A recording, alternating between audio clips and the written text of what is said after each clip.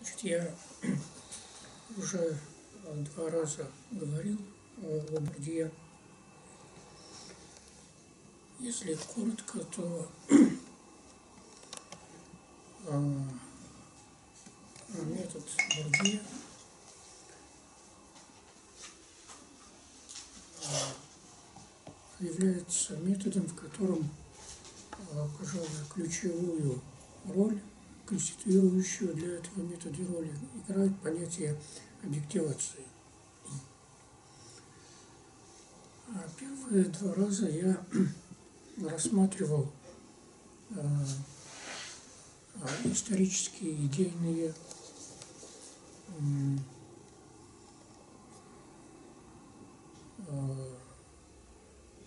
истоки, предпочтения и предпосылки Бордье – Э, того, как он формировался, э, к ним в первую очередь относятся э,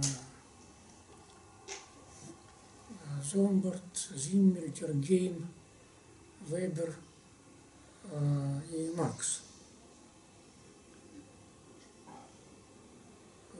Я имею в виду именно методологические основания э,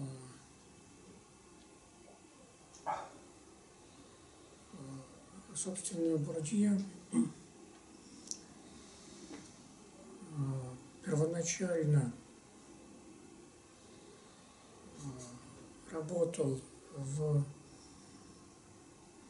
ну, исслед... проводил исследования, в частности, в Алжире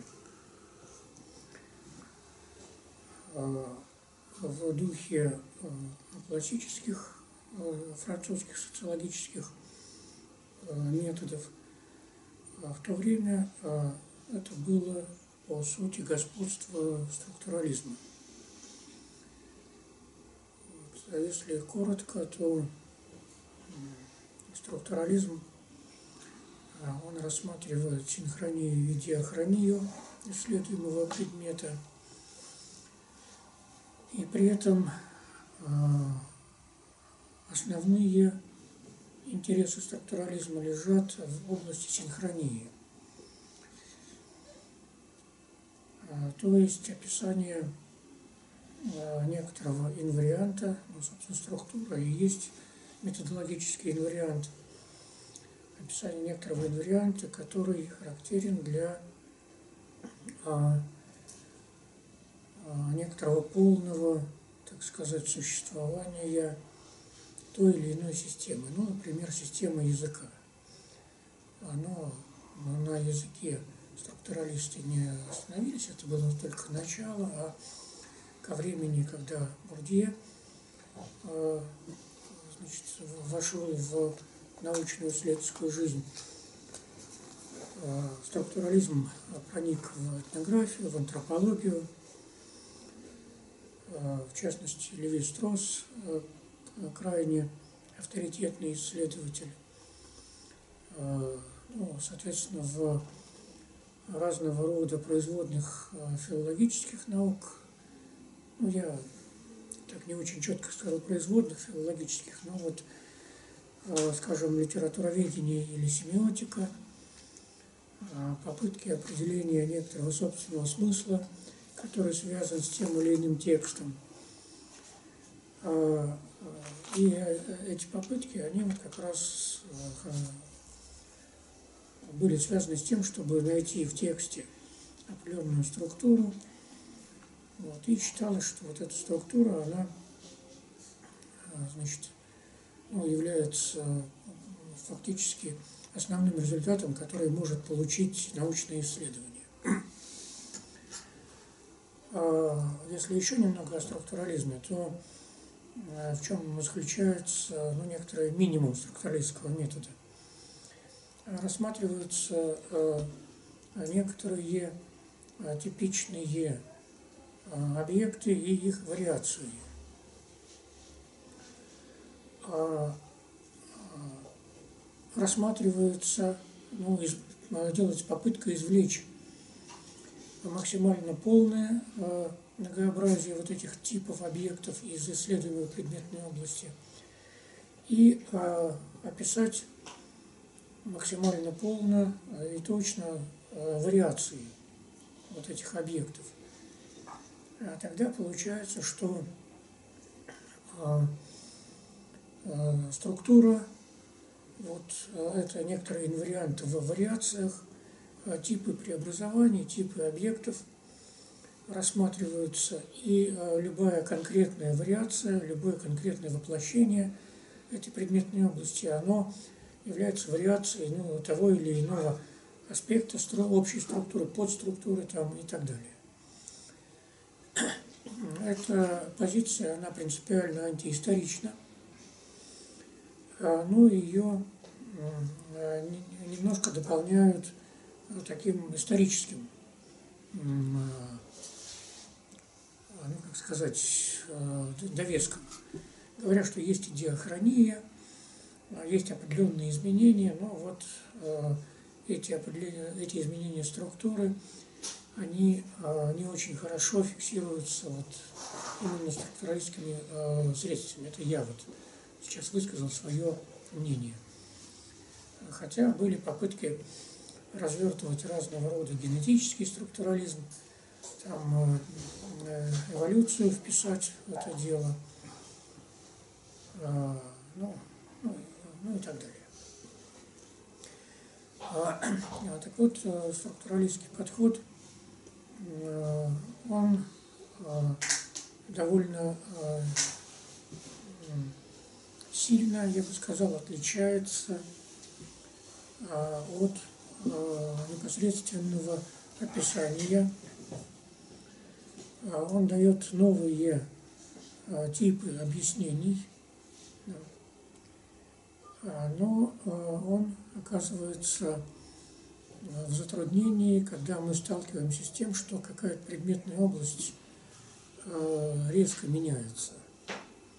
Фактически это получается слом структуры, и надо сказать, что вот такие структурные виды изменения, они в науках наблюдаются, ну, если говорить не о структурном подходе, а вот просто в рамках э, э, значит, изучения э, вот того, какие есть науки, как они устроены. В частности, вот есть у нас институты научной информации по общественным наукам, есть институт научно-технической информации, да, вот, и э, что в технической, научно-технической, что в общественной науке э, фиксируется такой факт, что там э, меняются термины системы. Изменение термина систем – это, вообще говоря, э, изменения, которые ломают структуру. Э, но вот эта проблематика, можно связать это с тем, что, вот, допустим, развитие некоторое идет – в духе более или менее таком диалектическом, марксистском и так далее. А, можно а, значит, говорить о том, что а, есть некая внутренняя логика, которая значит, связана с переходами от одного этапа к другому этапу. Это уже не вполне диалектическое, ну, хотя в диалектической логике такое тоже имеется, но это уже не вполне диалектическое такое рассмотрение. Да? Э, вот, ну, а, значит, э, вот эта э, изменчивость, а причем изменчивость иногда проявляющаяся в рамках как бы вот господствующей структуры, принципиальная изменчивость, появление чего-то принципиально нового. Вот она ну, может быть зафиксирована во многих случаях, скажем так. А, и вот а,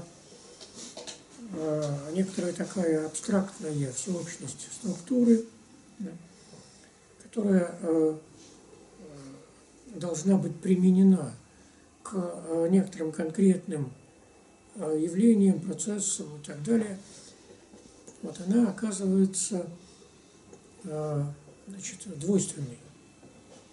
То есть структура может быть э, навязано методом.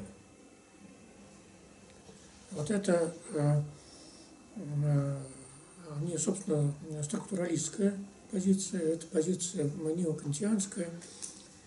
Э, неокантианцы говорили, что э, метод определяет предмет.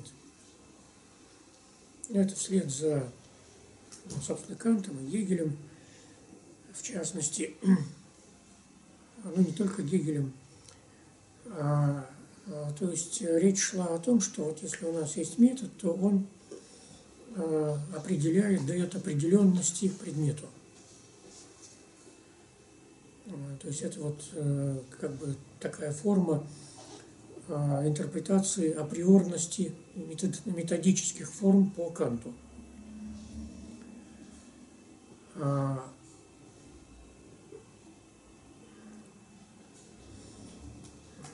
Однако развитие наук показывает, что а,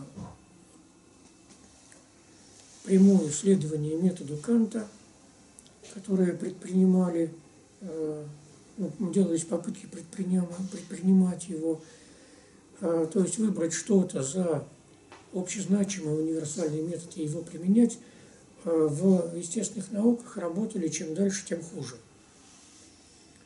развитие естественных наук показало, что, скажем, вот непосредственно физические методы к химии э, неприменимы, к биологии неприменимы и так далее.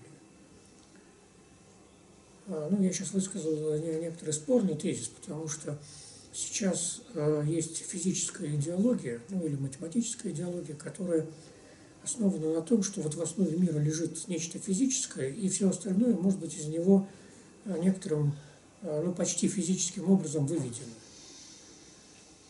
Ну, я вот скажу, я не буду рассматривать эту проблему, я просто скажу, что до сих пор вот такого выведения конкретного не предпринял никто. Есть только частные модели, которые весьма плохо работают.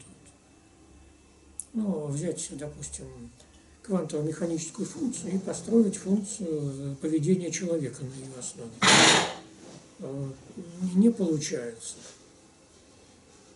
Слишком много э, как бы суперпозиций волновых функций, и э, в итоге уравнение не, не, неразрешимо. Его, его даже и записать нельзя. А, ну, это я вот высказал свое довольно категоричное мнение на тему того, что а физический редукционизм, физикализм и прочее – это неверная точка зрения, ну, тем более, что находимся в аудитории, которая более или менее а, как бы представляет, а, я думаю, концепцию, которая развивалась в марксизме-ленизме, концепция уровней движения материи. И там речь идет о, в частности, некотором своеобразии Э, вот этих высших уровней и относительно самостоятельности их. Вот, да, ну, а это я вот несколько в сторону, да, хотя нельзя сказать, чтобы Бурдье не имел в виду а, вот, ну, сходных так сказать, проблем. А, ну, а, вот это конкретизация общих положений, а, то, что результаты исследования могут быть навязаны тем, что сейчас называют оптика исследования, вот э, с этим э, Бурдье столкнулся вот как раз в, в Алжире, исследуя, вот, и а, стал более или менее сознательно отходить от Э, структуралистского подхода, начал такой отход. Э, значит, он э,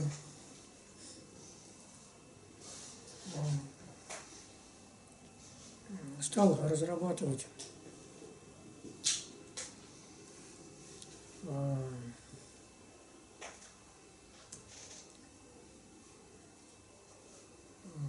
Социологические методы. А, связанные с э, некоторой с анализом практики, конкретной практики. И надо сказать, что он э, во многих местах э, демонстрирует большое уважение по отношению к Марксу и Энгельсу, анализы которых по отношению к тем или иным конкретным историческим э, событиям, там вот эта вот классовая борьба во, Франции, да, вот 18 Бремера Луи Бонапарта, значит, крестьянские войны в Германии – Э, в общем, это с точки зрения Бурдье очень неплохие примеры такого конкретного анализа. Э, вот. И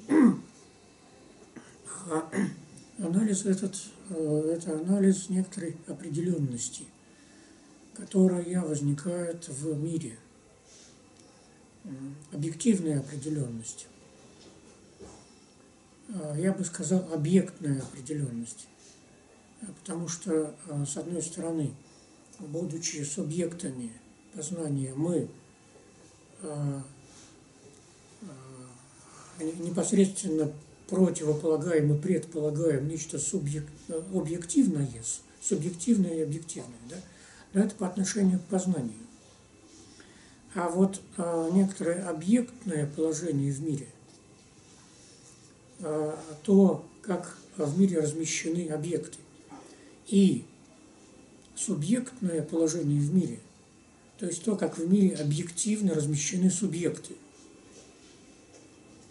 Вот это как раз э, некоторая такая проблематика, проблематика э, чего-то э, предшествующего познанию,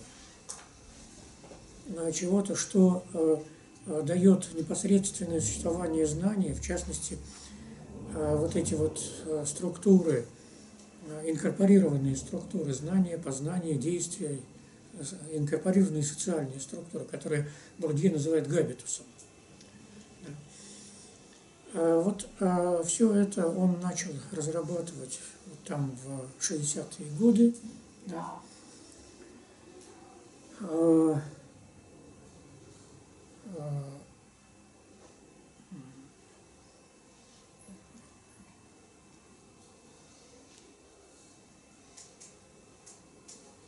Ну, в общем, про это я вот говорил э, во второй лекции цикла.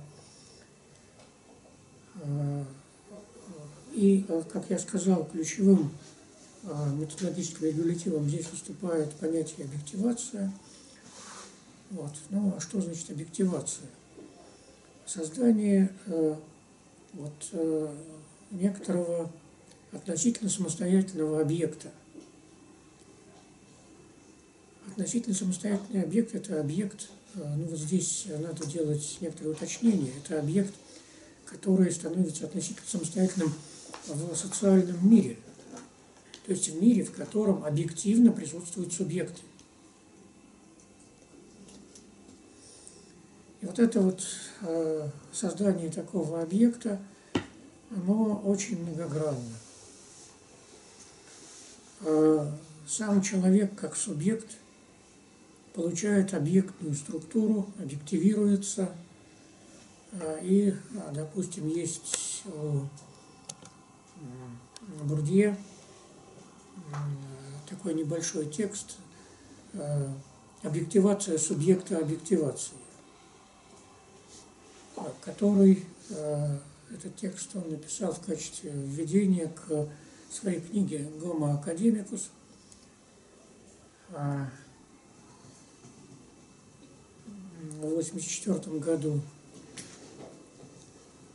А, ну, собственно, вот здесь как раз а, идет речь о том, что а, субъект тоже объективируется, да, объективируется, то есть получает объективное существование, объективные характеристики, объективную значимость, действительность, актуальность и так далее. Значит, и вот этот период развертывания представлений Бурдье, который длился примерно до конца 80-х годов. А он характерен э, такой позиции, которую сам Бурдье э, называл э, объективистской. То есть не объективной, а объективистской.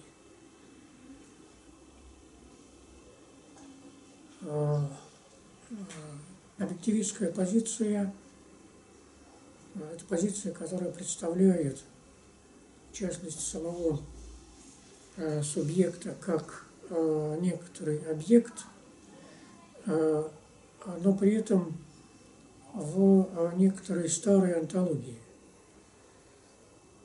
То есть, чем отличаются вот старые классические антологии от новых неклассических?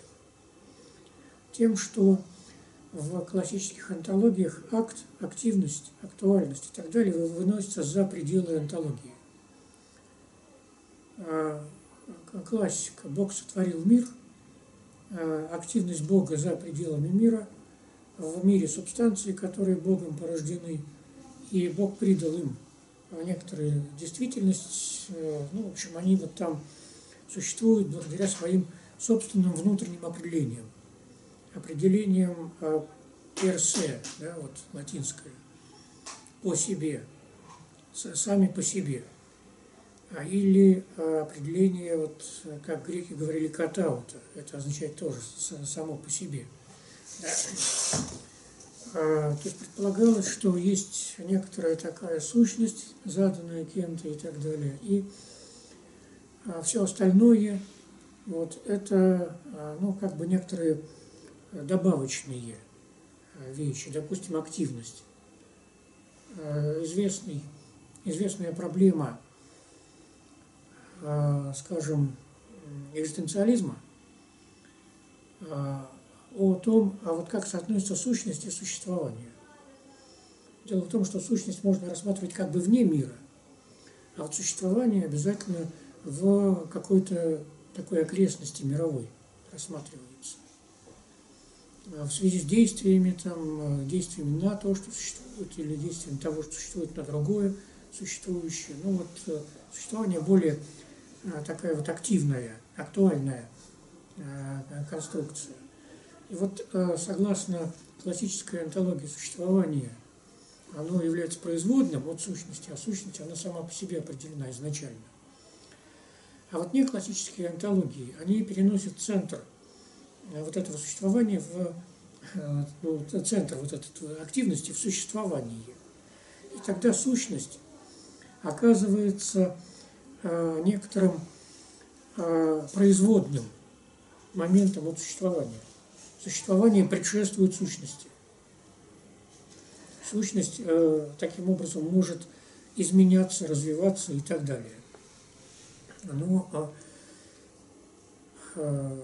Здесь я опять-таки напомню о, о том, что именно в этом э, ключе, э, ну, как я полагаю, Маркс интерпретирует э, сущность человека, когда говорит о том, что в действительности, то есть в некотором действительно включении в мир, сущность человека – это не абстракт, ну и так далее, а а некий, некий ансамбль общественных отношений.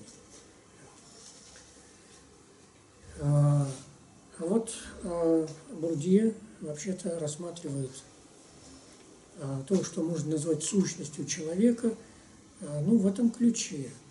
Вот, э, сущность – это некие базисные определенности. Какие базисные определенности есть у человека? Ну, вот, допустим, габитус – это э, э, нечто, что характеризует вот, практику человека, его поведение. Да? А габитус э, теснейшим образом связан с тем, что Бурдин называет стиль жизни или жизненный стиль. А, а, и а,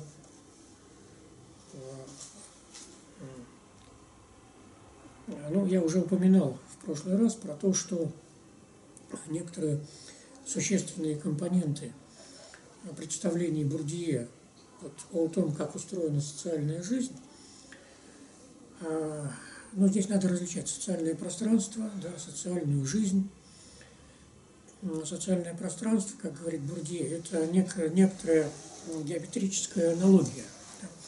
Это некоторое множество э, позиций и диспозиций, которые мы рассматриваем как одновременные. В то время как в действительности никогда все они не даны э, полностью, э, всеобщим образом и так далее. Ну, это вот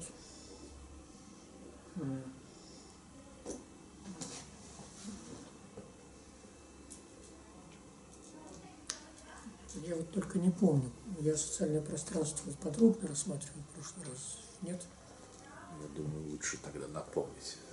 Слушатели другие. Ладно. А, ладно, тогда вот я обращаю внимание на а, некоторые существенные такие аспекты. Вот, допустим, поле. Да? поле тесно связано с социальным пространством, и на этом основании вот, э, его э, часто рассматривают как синоним социального пространства. Это не так, я вот сейчас буду это показывать. Э, ну, синоним пространственного подразделения поля.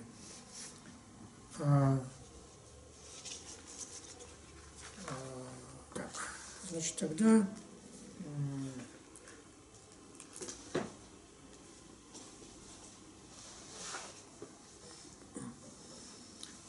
Тогда я, пожалуй, что скажу, что ранний период Бурдье был, э, характеризовался объективизмом, как он сам говорит позже.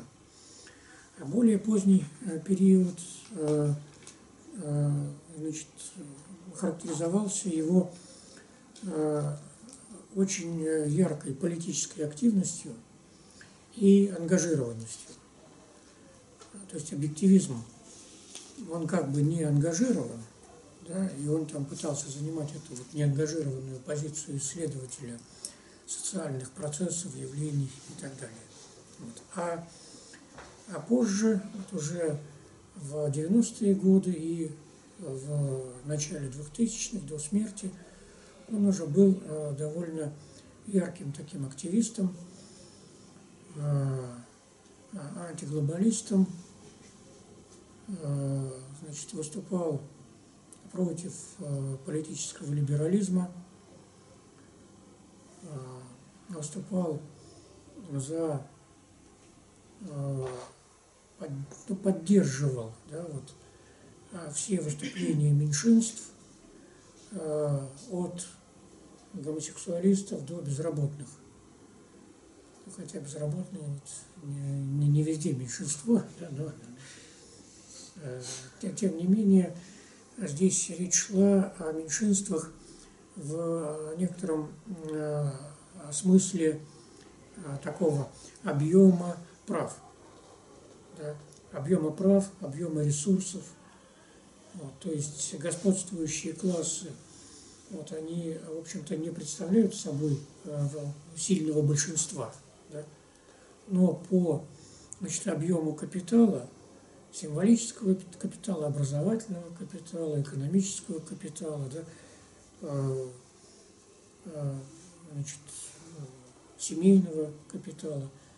Вот они а, сильно превосходят вот эти вот, ну, скажем, бедноту, да, рабочий класс, в, имея в виду низшие слои рабочего класса, иммигрантов, вот, ну и так далее. А,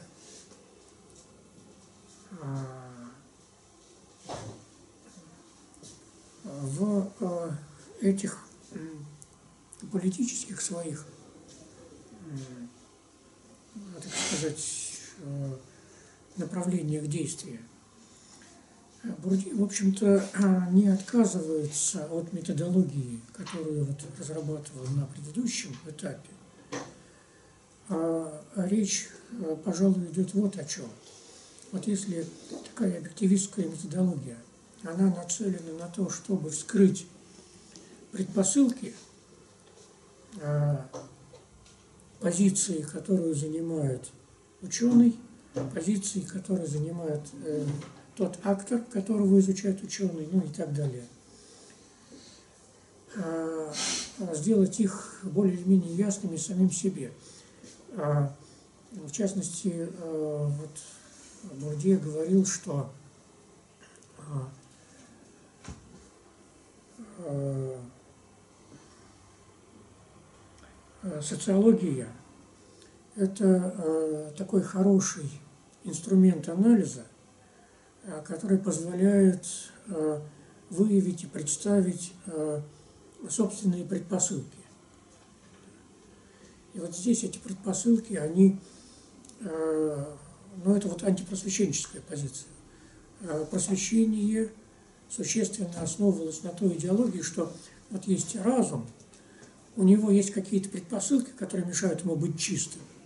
Эти все предпосылки надо отбросить, предпосылки, предрассудки, и тогда разум сможет с чистого листа познать вот некоторую истину, э, ясную саму по себе и прочее. В частности, э, некоторая такая политическая иллюзия, что тогда все э, значит, поймут, какое политическое устройство будет правильным, все подчинятся требованиям этого политического устройства и наступит на Земле значит, существование без, ну, по крайней мере, серьезных конфликтов, скажем так, в том числе военных. А,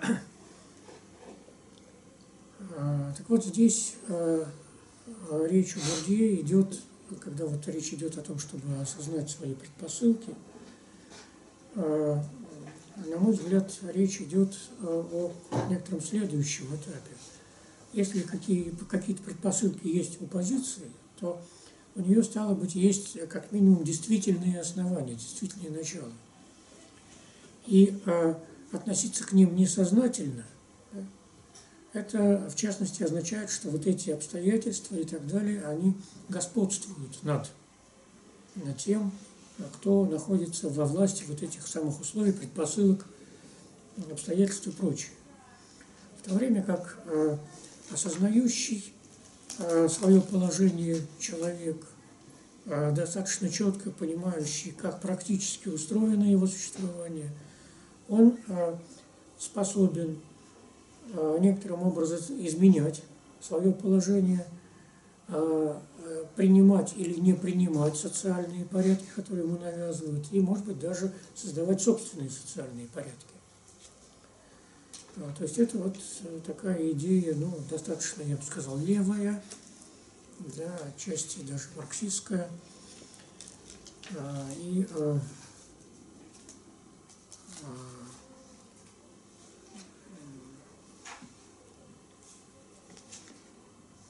Ну, и об этом, э, наверное, достаточно. Меня интересует прежде всего методология Бурдье. Да? И я буду сейчас рассматривать, ну, я рассмотрю сейчас несколько конкретных примеров э, этой методологии. В частности, э, некоторые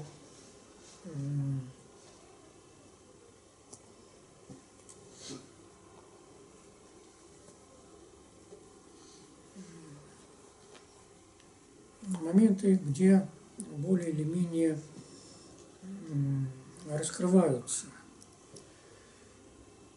вот эти а, методологические регулятивы.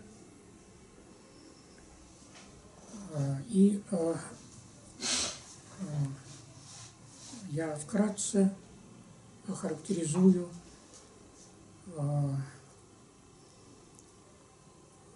некоторую, некоторые основные методологические пункты э, и средства, которые использовал Бурдье, анализируя Хайдегера. Значит, у него есть работа «Политическая антология Хайдегера», которая впервые опубликована в 1975 году. И э, Бурдье, Бурдье значит, ну, во-первых, сам называет эту свою работу упражнением в методе. А это упражнение в методе а,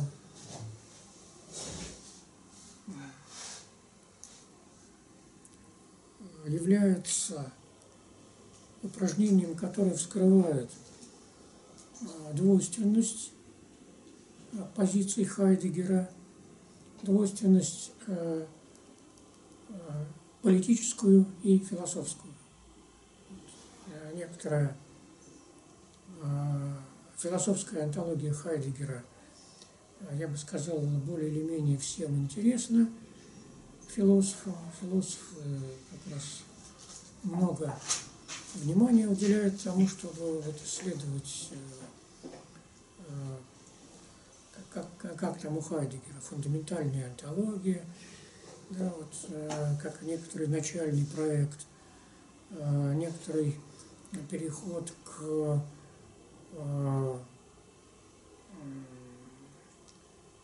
анализу языка как дома бытия и соответствующих, ну, я бы сказал, практических последствий для философа. Да. А, в общем, философы э, в основном интересуются этим. Э, это я от себя как бы э, добавил.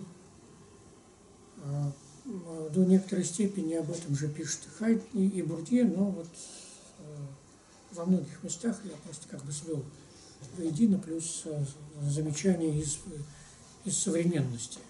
Можно такие сделать. Вот, в чем а, глядя на, а, глядя, так сказать, вспять на вот тот анализ, который он провел, а, в чем заключается с точки зрения самого, самого Бурдье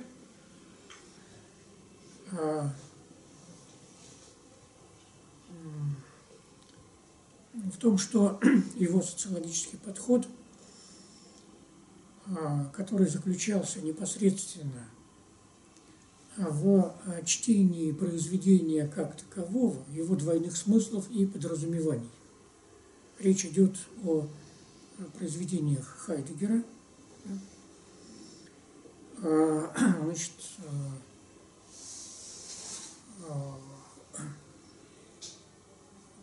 вслед за, ну не вслед за, а вообще историки философии и философы изучавшие Хайдегера, они э, занимали разного рода позиции, более или менее политические. Вот связь Хайдегера с нацизмом а многие э, деятели рассматривали. А, ну вот, э, естественно, Лукач, о котором я уже говорил, но не только Лукач. Бурде, кстати, Лукача почти не рассматривают он рассматривает других э, исследователей Хайдегера и говорит, что вот историки философии э, исторически анализируя разного рода позиции Хайдегера, высказывания, тексты и так далее, в конце концов э, связали это с некими политическими импликациями. А, так, э, основные да, э, эти политические импликации философии Хайдегера Бурдье э, выделяет три, ну, три самые неожиданные импликации философии политической. Осуждение государства благоденствия, которое скрыто, как пишет Бурдье, в глубине теории временности. Э, антисемитизм, э, который э, сублимирован в концепте беспочвенного блуждания, ну, непосредственно, если помните, у позднего Хайдегера речь идет о некоторой выдающейся роли поэта – а, который а, значит, выходит за пределы почвы некоторой эпохи, да, вот, а, и предвозвещает некоторую новую эпоху, устроенную по-другому. Ну, там на Гельдерлина ссылка, да, вот в промежутке между богами уходящими и богами еще не пришедшими. Вот там творит поэт без почвы. Вот. А, значит, и а, вот эта самая беспочвенность, она проистекает, в частности, из а, отсутствия а, вопрошания о бытии, когда оно есть, там уже вот бытие вот оно э, дает почву и корни. Э, ну и э, ну, это вот весьма далекая, так сказать, связь. Э, но в, э, в книге «Политическая антология Мартина Хайдегера» Бурдье эту связь, в общем, показывает, развертывает. И третье, э, неожиданное, э,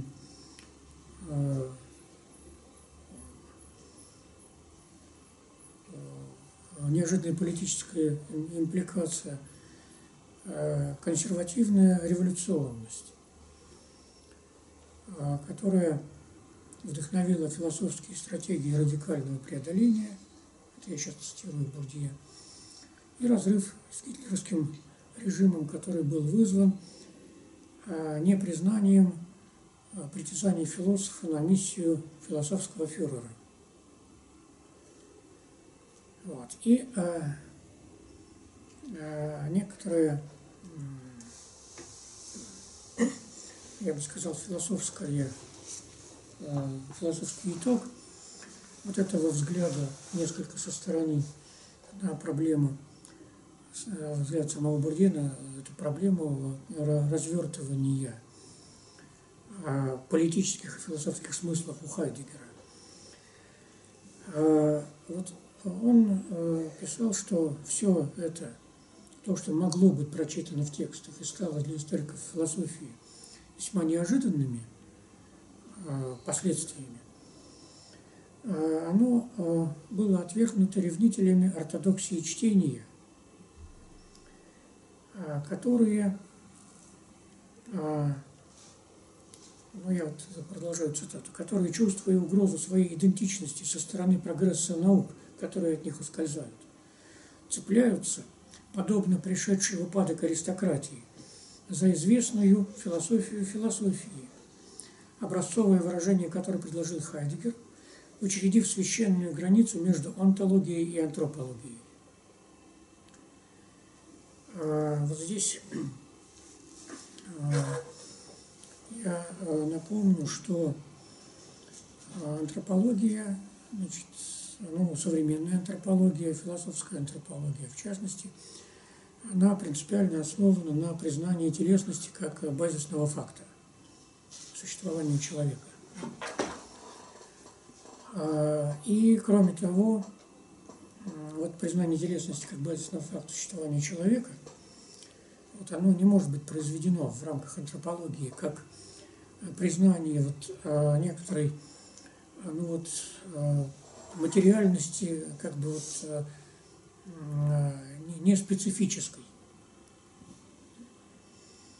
То есть вот э, э, простой материализм заключается вот в том, что мы берем какой-то вид материи за базисный и из него строим все остальное.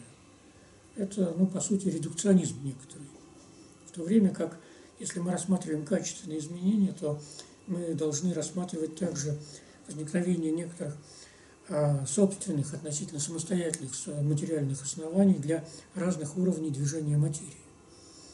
И вот, э, вот эта самая э, антропология, да, которая была тесно связана с рассмотрением повседневности, в частности, а не только привилегированных форм познания. А, тем более, что антология – классическая, она э, э, ну, тесно смыкалась к гносеологии, поскольку классическая гносеология, она рассматривала как некоторое преимущественное и предпочтительное познание, познание некоторой онтологической истины. Но при этом онтологическая истина в классике – это неизменная, абсолютная истина. А в марксизме, как известно, истина а, не абстрактна, она конкретна, она исторична. Да? Вот. И э, в этом смысле я, кстати, вот могу, чуть отвлекаясь от этого рассмотрения, привести пример исторической истины, математической. Да? Вот дважды два – четыре, говорят. Это неверно, товарищ. Точнее, это верно не всегда – в поле вычетов по модулю 3 дважды 2 равно единице. Вот, то есть э, четверки там вообще нет, не существует в этом поле вычетов. Э, ну, то есть вот непосредственно, да, вот утверждение, что дважды 2 равно всегда 4, ложно. А, ну, если рассматривать историю некоторую, развертывание человеческих представлений, понятий и так далее, оказывается, что вот абсолютизация некоторого, некоторой числовой системы, вот она приводит к вот такого рода э, значит, казусам, скажем так. Э, ну, это вот э, некоторый такой пример да, вот того, что даже, казалось бы, очень хорошо и точно определенные познания, вот, выглядящие абсолютными, имеют э, свои э, основания исторические, ограниченности и так далее. И не применимы не везде, и не всегда. Ну вот я значит, возвращаюсь к тому, что эта вот граница между антологией и антропологией. А, антропология как некая телесность, как некая практичность, да, и э, вот я, э, когда говорил про Лукача в своих предыдущих лекциях, я отмечал тот факт, что э, Хайдегер э, рассматривает возможность э, значит, подхода к экзистенции как к чему-то практическому и говорит, что эта точка зрения была характерна для греков даже, практичность. Но, говорит Хайдегер, мы эту точку зрения рассматривать не будем. Он просто берет и отсекает практичность. Практичность у него возрождается несколько позже в виде техничности, как э, неподлинного бытия, э, ну и, и так далее. Да. Э, так вот, здесь существенным да, является вот это двойные смыслы или подразумевания произведений. А,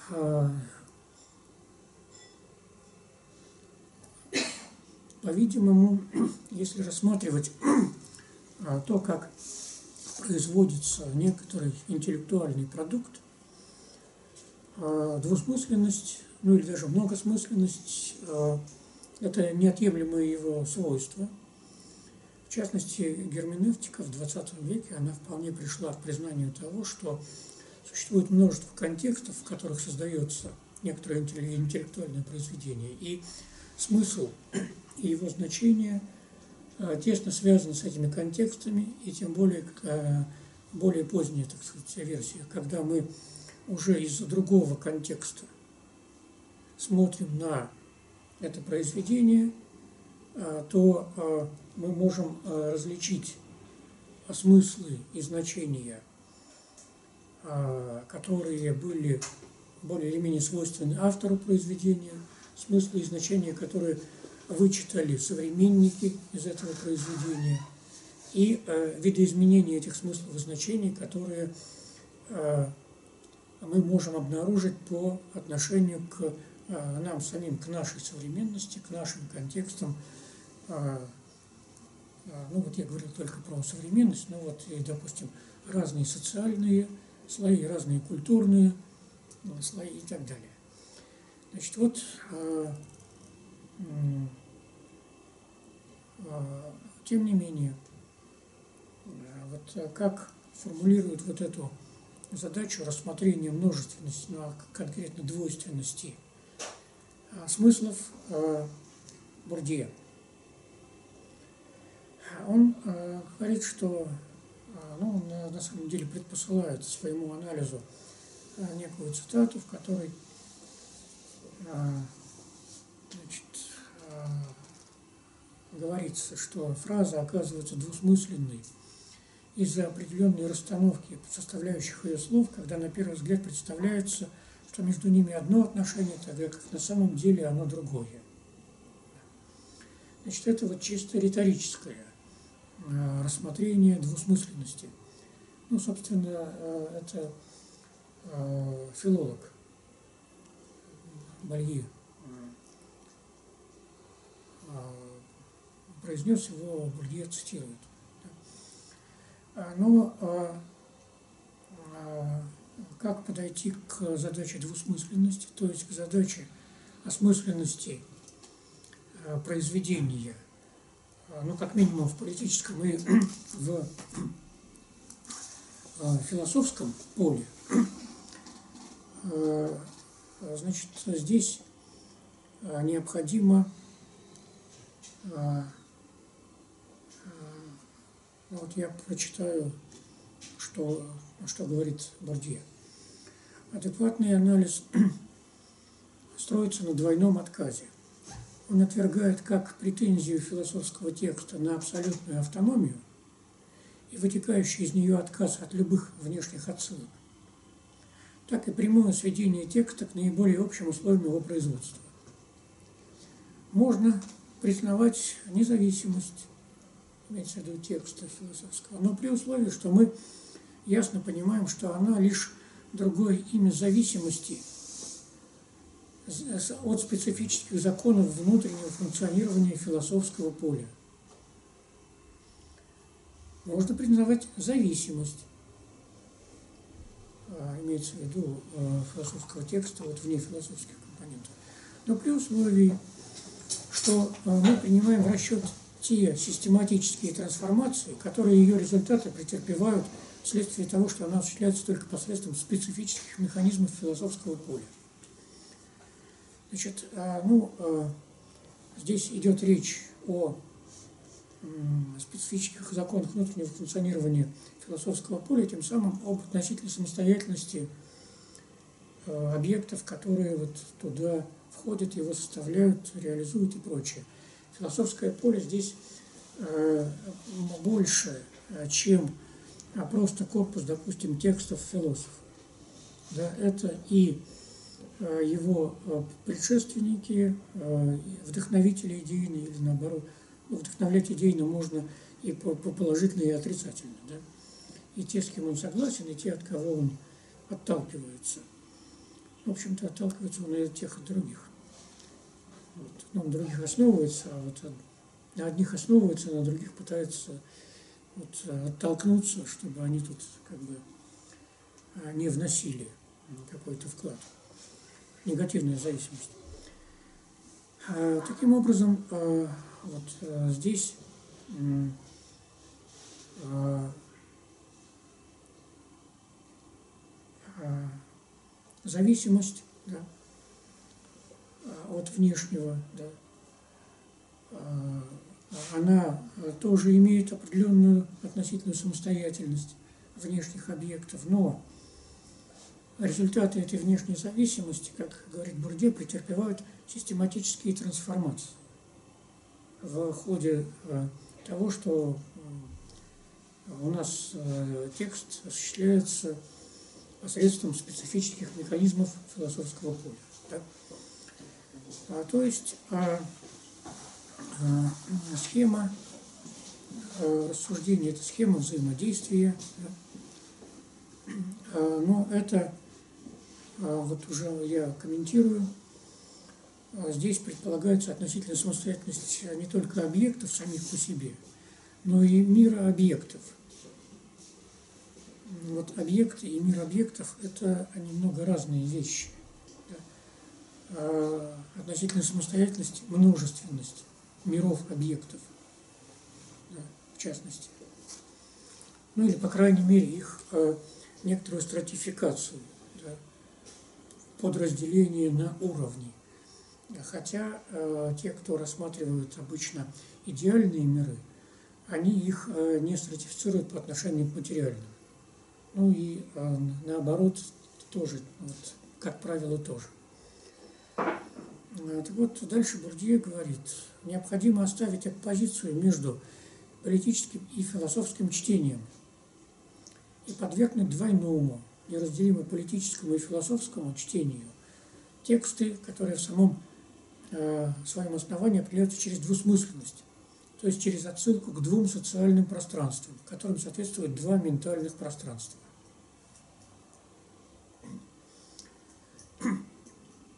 Значит, здесь э, я э, могу дать такой, такой комментарий, что вот это, этот, как сказать, это методическое правило, да, связано с соотношением слова и дела. То есть вот поле философии оно а, включает в себя а, как некие дела, которые выражаются в словах прежде всего, но не только в словах,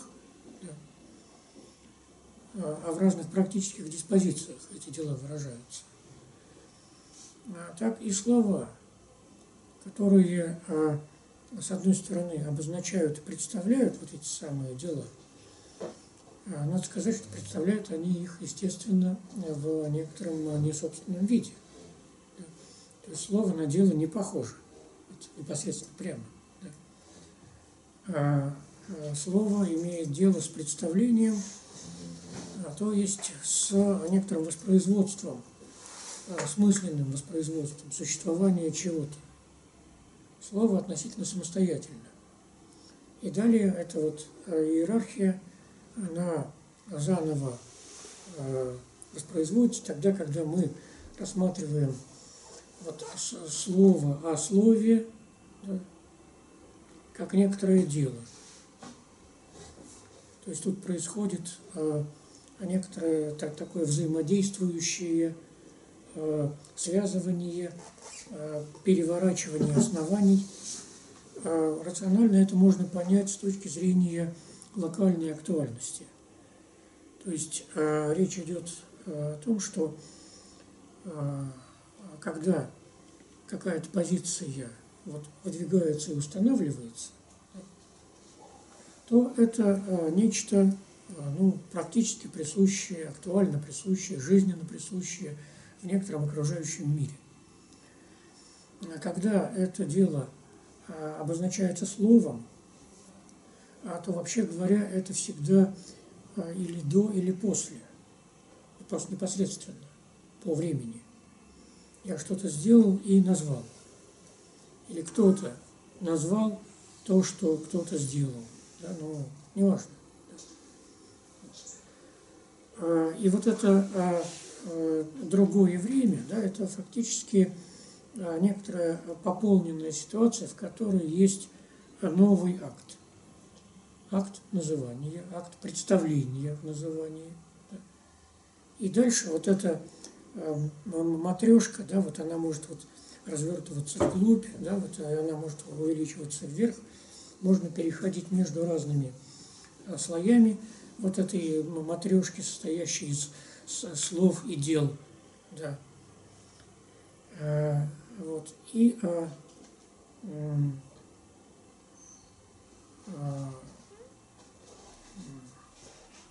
Здесь что означает эта двойная референция? Наивно, если к этому подходить, то это означает желание смешать слово и дело, уничтожить различия между ними. Когда слово будет непосредственно делом. Или дело будет непосредственно осознанным и как бы неотделимым от некоторого слова. Да? Там, вот это слово можно продать, предать и убить, да, вот, э, выражает некоторый аспект вот этого смысла. Но это более или менее наивный аспект, да. Вот. А здесь, э, э, если речь идет о Бурде, то я вот лично интерпретирую это как то, что здесь идет речь о двунаправленном э, освоении субъектом двух миров – идеального и реального. Собственно, как можно вот так вот осваивать эти миры?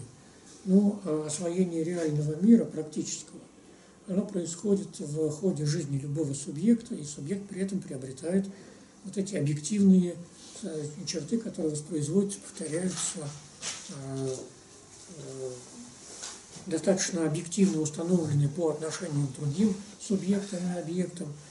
И в то же время освоение вот этого идеального мира, где возникают вот эти вот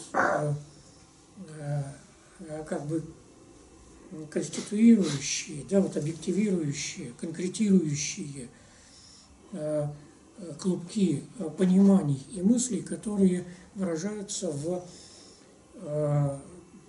разного рода представлениях, которые тоже объективируются вообще-то. Собственно, философский текст есть вот такая объективация идей, взаимосвязи идей, перетекания идей – создание по представлению и так далее. И вот а, а, а, пример а, недостаточного такого подхода. Да? А, Адорно,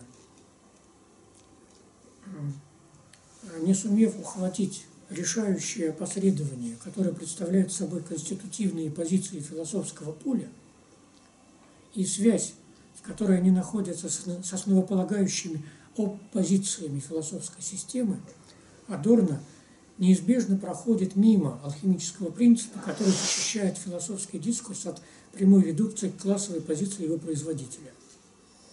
И в то же время – лишает себя возможности объяснить то, что может казаться сам, э, самым существенным, а именно эффект придания философской формы. Значит, вот э, Бурдье здесь соотносит две, значит, ну, два типа сущностей. У нас есть философское поле, да, которое конституируется конституктивные позиции философского поля, он говорит, это опосредование. А, то есть а, основополагающие позиции философской системы опосредованы вот этими позициями философского поля. А, но вообще-то, когда речь идет об опосредовании, то а, вот это вот двустороннее а, рассмотрение позволяет говорить и о том, что наоборот, э, основополагающие, ну, ну вот одно другое опосредует, и оба друг друга опосредуют. Собственно, вот а, а, а, предшествующие вот это вот двойное неразделимое политическое и философское чтение, да, я думаю, что может быть правильно понято только благодаря, ну вот и при условии того, что мы рассмотрим опосредования, которые составляют а, собственно, основу этого нераздельности вот этого чтения. А, ну, вот это я так полагаю. Тут э, поле, э, вот конститутивная позиция философского поля, оно находится в связи с силами, а, причем эти силы находятся в позициях. То есть они определяются а в отношении к внешнему миру философии, конститутивные позиции философского поля. Другими словами, они в обществе находятся. А, и далее становится ясно, а, Бурдье про это говорит, что это мир актуальный, мир в акте. У него тут есть где, а, есть далее некая критика а, а, таких критиков социологического вот этого подхода, которые заранее знают, что надо думать в конечном счете, и не прилагая ни малейших усилий в мысли располагаются в конце анализа. Они знают, что в мысли располагается в конце анализа. Для того, чтобы разоблачать неизбежную ограниченность любого анализа в акте. Вот акт анализа, действие, которое производит исследователь, которое он производит, как раз находясь в поле исследования, в поле науки, которое э, э, специфически выделено в обществе. А, вот. И а, можно пытаться занять вот эту позицию в мысли, да, предвосхищая а, заранее, а, заранее зная, что, допустим, полная задача исследования, она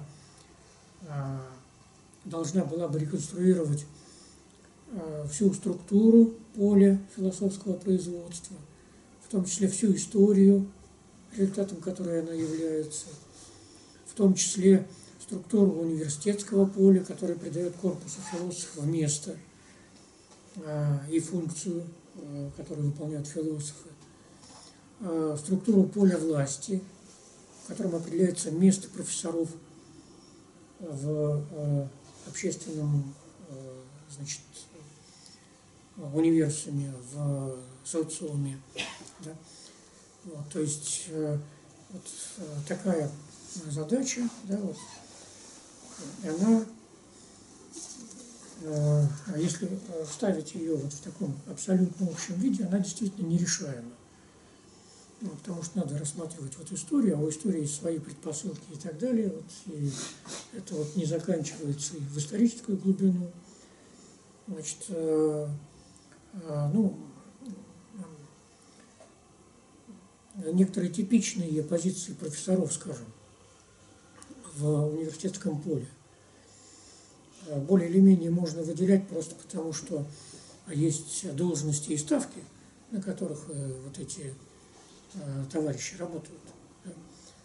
Но э, значит, здесь имеется некоторая текучка, некоторая недоопределенность, когда, скажем, кто-то вынужден выполнять работу за других, Э, выходя за пределы вот своей должности, э, э, ну, просто чисто формально, ну и так далее. А, и тем более, если говорить о институте, поддерживающем, обеспечивающем воспроизводство профессоров, институт секретарей, лаборантов, значит, аспирантов, студентов, э, значит, доцентов ну, и, и так далее. Да. То есть эта задача, она э, по отношению к конкретному периоду, а тут речь идет о Веймарской Германии, э, в частности, вот она заранее как бы предполагает, что не удастся раскрыть полную систему связей. Ну, нельзя вот все перечислить, буквально все. А тем более, что вот если говорить о более современных э, так сказать, вещах, вот, когда есть какая-то административная структура, то у нее есть, конечно, э, свой устав, положение, там вот э, инструкции должностные и так далее.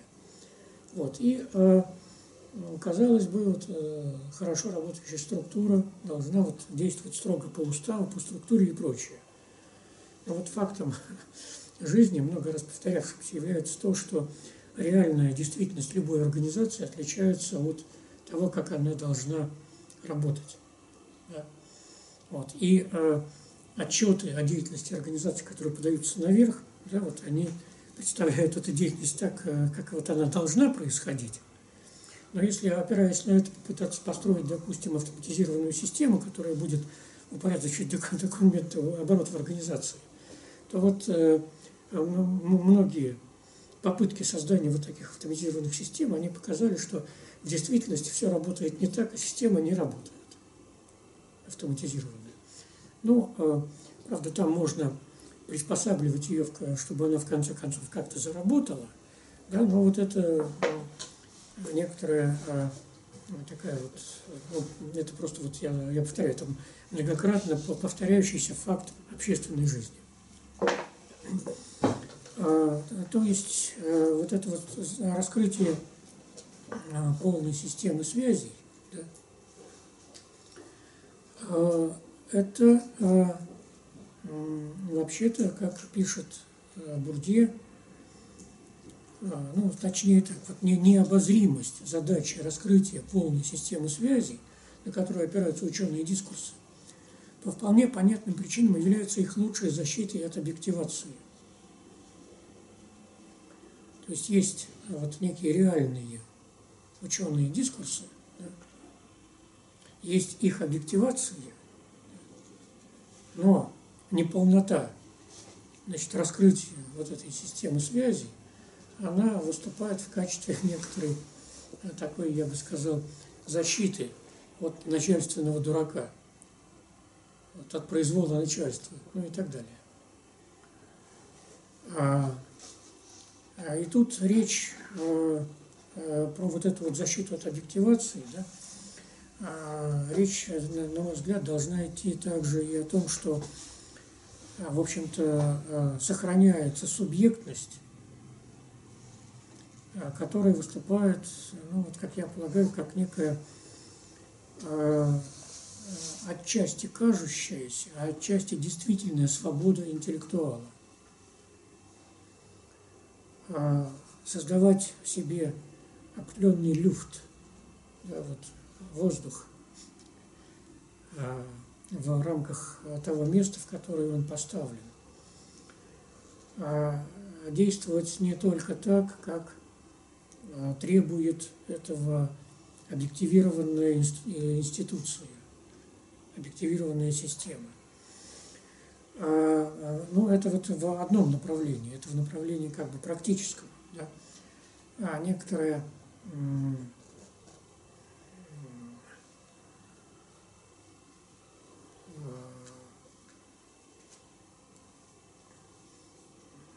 некоторые можно сказать, преодоление отчуждения.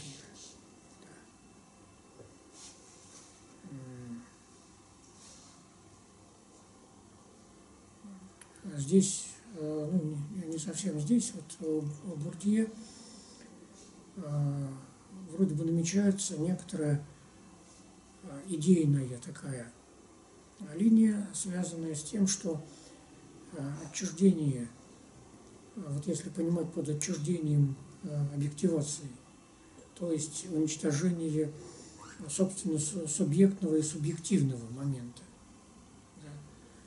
Вот оно а, может быть э, несколько нивелировано как бы изнутри. А при этом объективно, однако, это мало что меняет. Вот это другой аспект. А, то есть тут очень, я бы сказал, сложное, сложное такое поле взаимодействий описывает Бурдье. А, значит, а,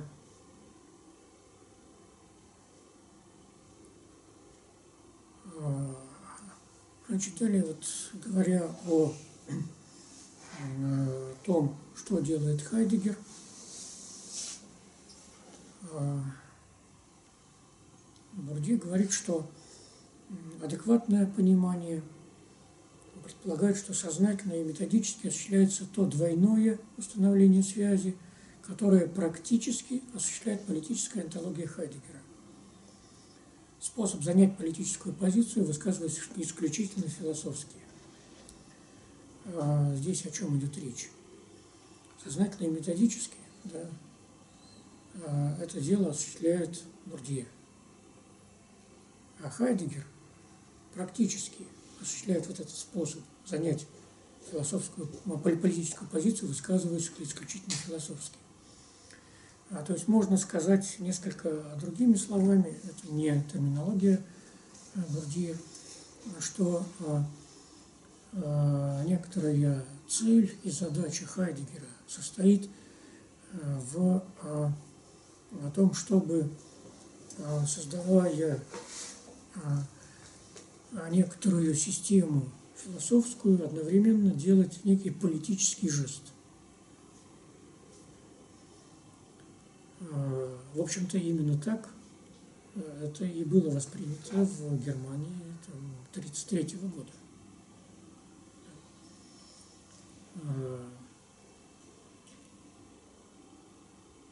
Здесь отдельный интересный вопрос о, о том, какую роль здесь играет э, мораль, ценности и так далее. Ну вот, э, я сейчас не буду про это говорить. Э, значит, и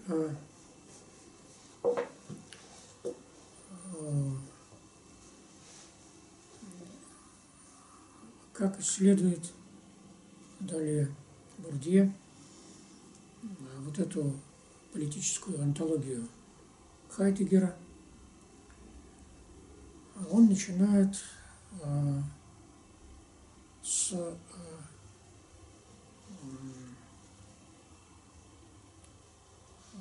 характеристики идеологического настроения немецких интеллектуалов.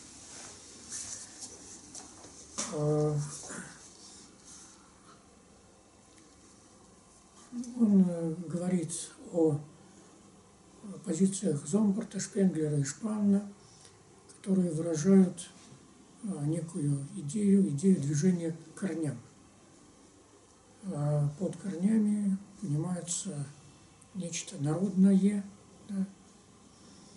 Вот. И э, Бурдье отмечает, что в идее народности – Э, фиксируется неточная объективация. Что объективируется? Объективируется некоторый э, как бы дух, порыв, стремление. А,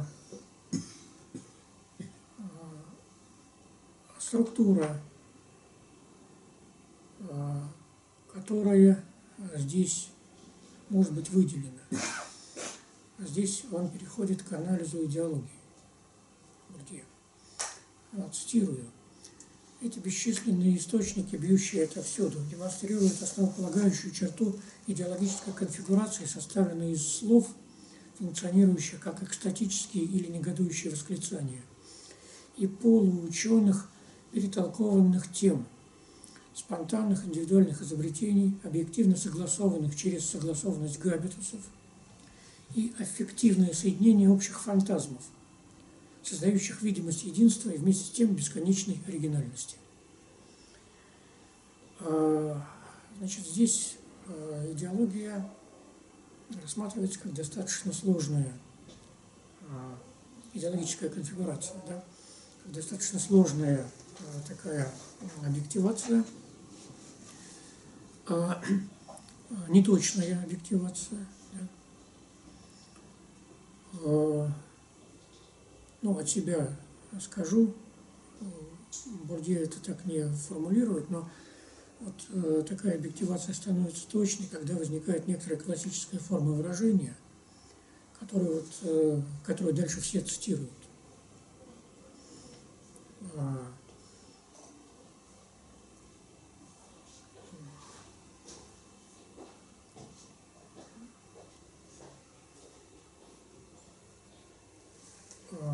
до тех пор, пока не фиксирована э, вот эта классическая форма, а по сути речь идет о некотором многообразии опытов выражения вот этой самой, этого самого духа, э, народности, допустим, э, некоторой идеологической вот, идеи, основы идеологии. Да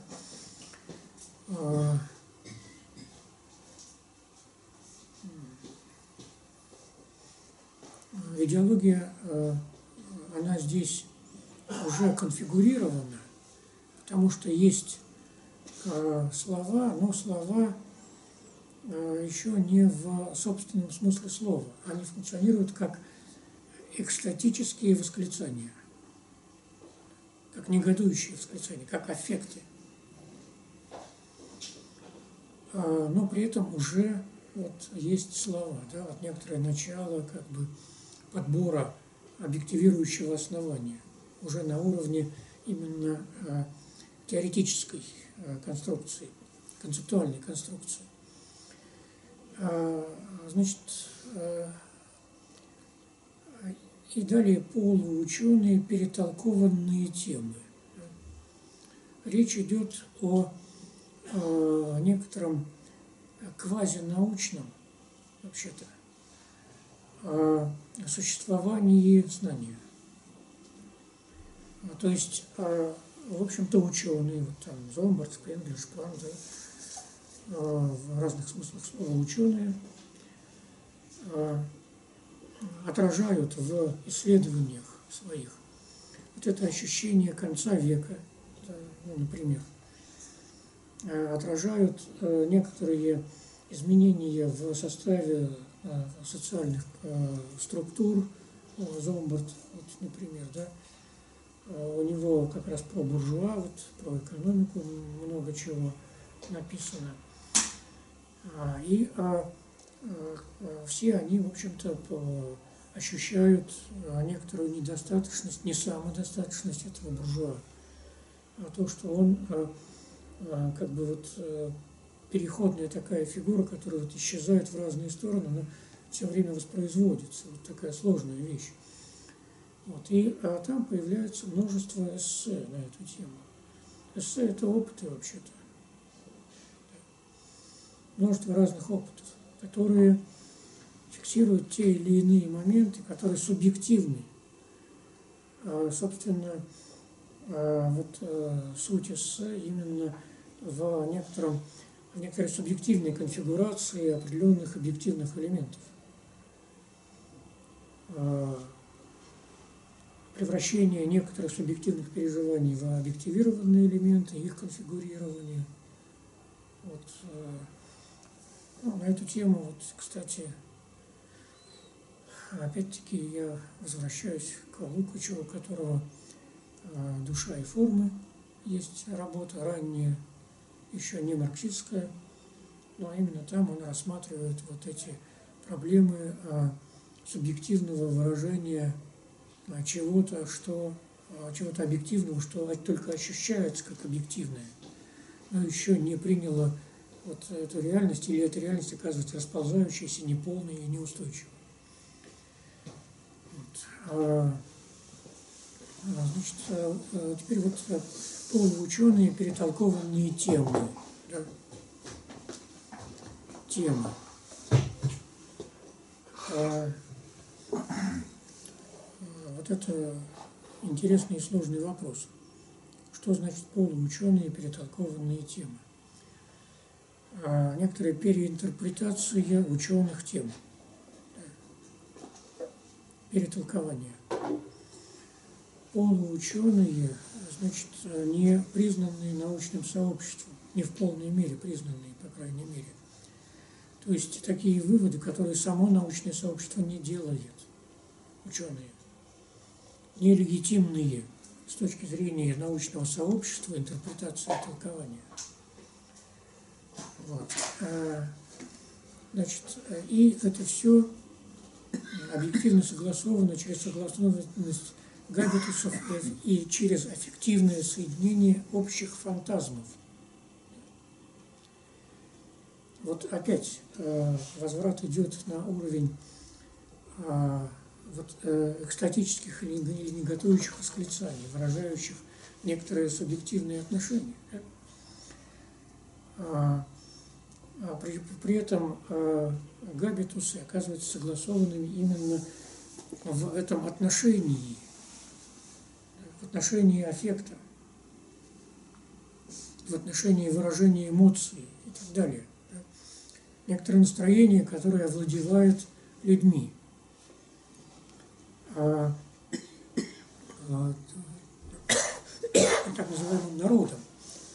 А, дело в том, что ученые, а, они, как сказать, они как бы из народа выходят, да, но, как говорится, страшно далеки они от народа. Вот э, тот самый фольк, да, вот, который вообще-то не, не образован. То есть у него есть некоторое начальное образование, да, но этого ведь недостаточно для освоения ученых конструкций. Ученые конструкции выступают как внешние, как отчасти магические да, вот для вот этого самого образования. Одновременно как директивные, нормативные, значит, э, властные, да, вот и так далее. Но э, Гурдиев про это во многих э, местах говорит. Да. А здесь а, фантазмы соединяются. Да? А, фантазмы. Фантазм – это некоторое порождение фантазии. Ну так, если брать э, начальное, э, так сказать, начальный смысл, начальное значение. Да. А, вот, вот, а, вот эта неточная объективация, которая составляет а, идеологическую конфигурацию, она оказывается включенной как раз в практику. Из практики выходит. А, а ученый, ну, в данном случае ученый это широко, Хайдегер, Хайдегер тоже ученый, да, а, а, официально занимает должность в университете, да, вот, и так далее. А, деньги за это получает, вообще-то это профессия его. А, значит, официально а, вот это вот не выражено, да, ну, как раз в пору говорить про эту самую э, эпоху, когда вот э, поэт находится между значит, разными эпохами, между тем, что было установлено раньше, и тем, что значит, только приходит, и его можно только чувствовать некоторым образом. Но вообще говоря, это как раз есть чистая фантазия. Вот э, то, что чувствуется из э, того, что приходит, то есть из будущего. Да. А фантазия, то есть не прогнозирование в частности. Да, прогнозирование уже имело бы некоторые а, компоненты научности, бы на чем-то основаны и так далее. А здесь вот э, переживания, чувства, да, эмоции. Вот. И, а, как пишет а, а, из-за своего смутного и синкретичного характера на грани рационального выражения народная идеология находит свое лучшее выражение в литературе и прежде всего в кино. И там он приводит огромное количество вот, разных, ну, не то что огромная, не, не так большая книга, но массив э, действительно большой, наиболее характерный пример приводит. Разного рода фильмов, которые да, так или иначе это выражают. А, значит, э, разного рода идеи, типа того, что а, вот с одной стороны вот есть а, некий народ, да, но где живет народ? На равнине. А в горы поднимаются только вот те, кто ищет высоты. Но с этой высоты, вот те, кто ищет высоты, они способны а, лучше увидеть то, что там есть на равнине э, и так далее. Вот они как бы являются такими фюрерами. Да? И вот это выражалось в частности в том, что в э, значит, начале XX века э, группы молодежи, студентов да, предпринимали восхождение в горы, где там э, разным романтическим способом философствовали, значит, ну, рассуждали и прочее, но именно вот студенты, да, учащиеся, полуученые, недоучки, только отчасти знакомые с э, системами разных идей, в то же время ощущавшие себя вне вот этой системы. А, то есть это описывается некая повседневность, которое э, с необходимостью воспроизводится как воспитание, и в то же время э, как воспитание человеческого чувства, и как в то же время как развитие и воспроизводство человеческого чувства.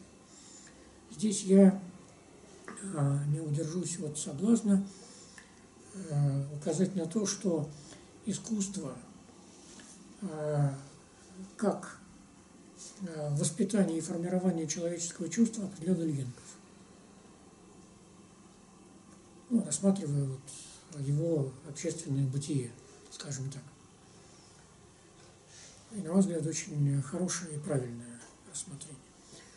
Вот. И далее, а, значит, вот разного рода идейные вот эти установки, предпосылки и так далее, заметьте, все в русле рассмотрения прочности объективации,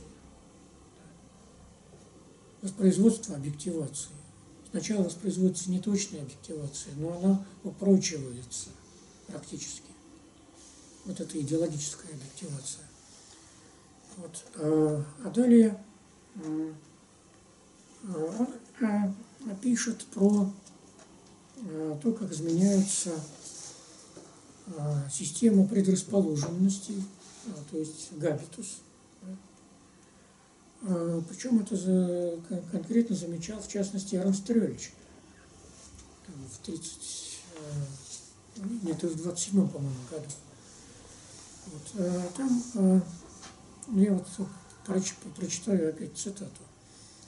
Интеллектуальный пролетариат. Значит, доктора, вынужденные преподавать в заведениях ниже университетского уровня по причине нехватки мест и низшие интеллектуальные работники чья численность увеличилась, когда большие научные институции превратились в предприятия государственного капитализма. Этот интеллектуальный пролетариат прирос всеми теми вечными студентами, которым логика немецкой университетской системы позволила занять низшие преподавательские места. Таким образом, в недрах самого университета появилась свободная интеллигенция, которую более жесткие системы вытесняют в литературные кафе. Ну, это речь идет о французской системе э, организации интеллигентов, там вот кафе. Да. А, то есть здесь э, что мы видим? Э, анализ одной из социальных предпосылок вот этого интеллектуального переворота, да, а, ну, я бы сказал, что вполне аналогичный анализу 18-го Брюмера. Там как появляется этот вот люмпен пролетариат, да, вот, и прочее. А, и а, я вот, а, я сказал бы, что вот это выделение да, некоторой социальной почвы, социальной, социальной почвы для преобразования интеллектуального ландшафта для преобразования требований, которые предъявляются в частности к университетским профессорам. Поддерживает э, ты нынешнюю власть или не поддерживаешь. А нынешняя власть это кто? Ну вот штурмовики, в частности. Да, ну, это речь идет про Германию э, того периода. Э, так вот, э, я здесь несколько развил бы вот этот анализ выделения таких предпосылок, вот как бы предпосылок э, переструктурирования системы. Э, я бы даже сказал, что важно выделять такие предпосылки, поскольку они становятся непосредственными условиями осуществления э, следующей актуальной пересборки мира. То есть такая актуальная пересборка мира, ну вот я полагаю, что она может произойти вслед за формированием вот таких ну, предпосылок. Вот здесь он называет э, их эти предпосылки социальные, некая свобода, свободные места – места не очень жестко определенные функционально. Ну, я напоминаю, что вот э, тут есть структурная очень неплохая аналогия между тем, что я говорил ранее с, э, с этими вот определенностями, структурными определенностями мест. Далее, а, а, значит,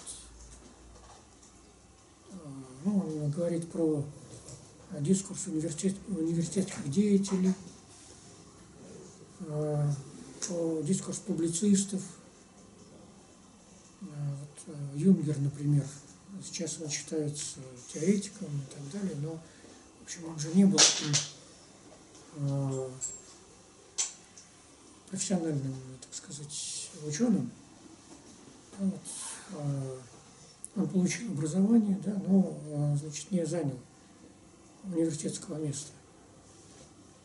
Вот, и вот публицист, да, Юнгер.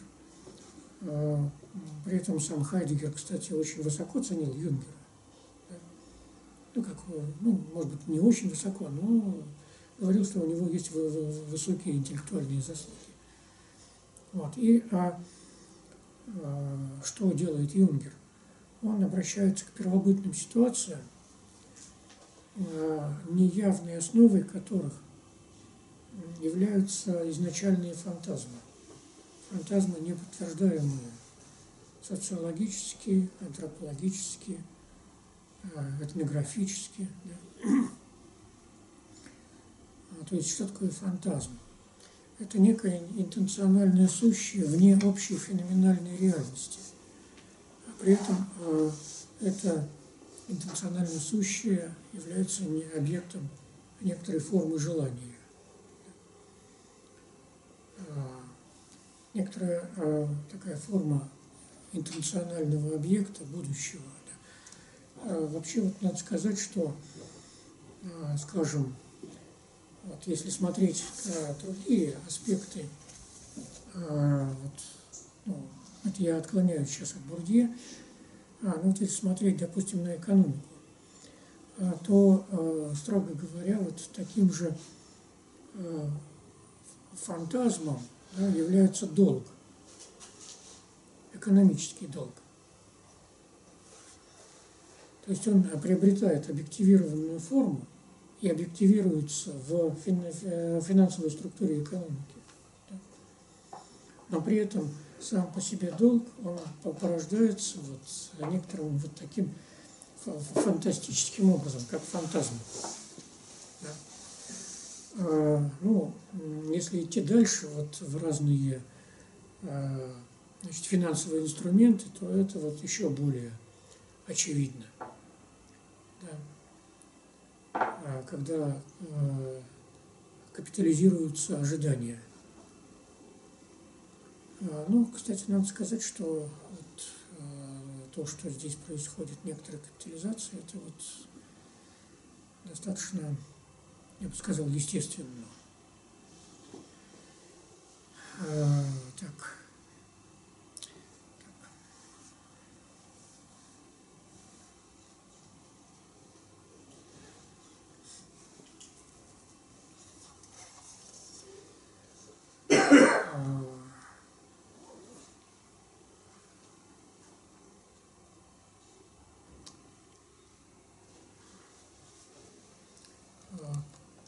Значит, я сейчас э, вот, сделаю некоторый, э, некоторые резюме вот этого рассмотрения. Да? Значит, э, здесь на конкретном примере, ну, можно было бы продолжать дальше, но просто вот если полностью рассматривать, то у нас не хватит времени. Я хотел еще кое-что рассмотреть из других работ Бурдье. А, значит, есть а, разного рода а, взаимодействия акторов, да, акторов, которые занимают места в полях, и объективированное вот это самое место, вот оно наделяет актора активом и силой. То есть э, это некоторая такая объектная и объективная надстройка над, собственно, существованием э, человека. а, если он не будет оформлять свою деятельность хотя бы отчасти вот в этих объективированных формах, то он просто выпадает из системы, он э, не, не может занимать это свое место.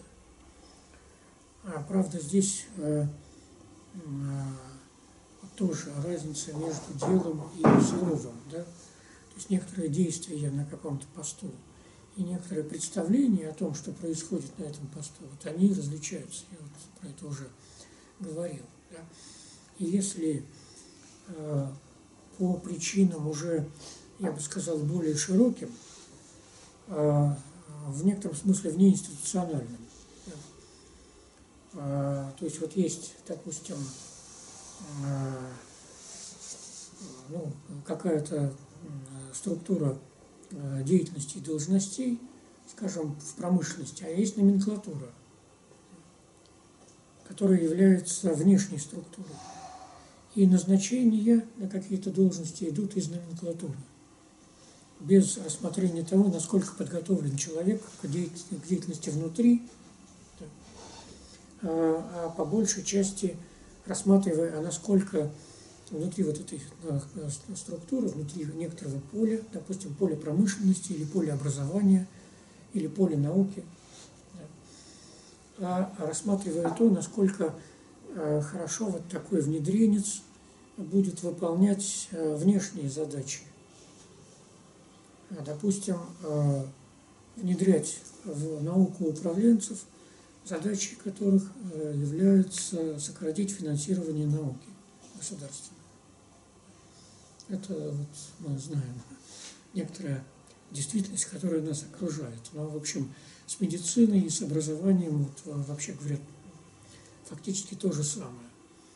Не совсем понятно, как у нас в России с армией обстоит, но в целом финансирование э, процент ну, достаточно сильно было порезано. Ну и так далее. Ну, это как бы примеры а, значит, вот э, множество полей, да, поля э, включают в себя места, которые характеризуются, а даже вот не места, а тут вот иногда место, да, но Бурге предпочитает слово позиция, которые характеризуются диспозициями, а, оппозициями, а, то есть это а, некоторое наследие структурного подхода. Но в то же время здесь а,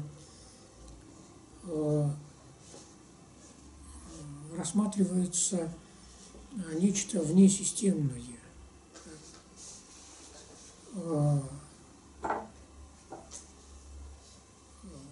Немецкие профессора, как говорит Бурдье, а, производят а, бесчисленные варианты консервативной идеологии или революционно-консервативной идеологии. А, и эти варианты идеологии оказываются предметами осмысления для Хайдегера, точно так же, как воплощенные в работах Хайдегера – вот эти вот э, э, образцы консервативной идеологии оказываются предметами осмысления для немецких профессоров и для каждого из них, и для всех остальных. И здесь возникает то, что говорит, э, то, как говорит Бурдье, приблизительная объективация. Она приблизительна по отношению к мыслительным схемам и точному выражению. Она приближается к этим мыслительным схемам, приближается к точному выражению, но а, постоянно как бы дорабатывается и прочее. А, а объективируется что? А, этика, политические настроения. То есть здесь есть не просто некоторая логика, которую можно было бы описать как историю идей, а здесь есть некоторый генетический взгляд на логику возникновения и на логику производства этих дискурсов. То есть э, некоторая стадия становления, формирования, э, в генезис это все входит. Затем э, некоторого существования, функционирования, изменения, развития, э, ну и так далее. Значит, ну, я постарался показать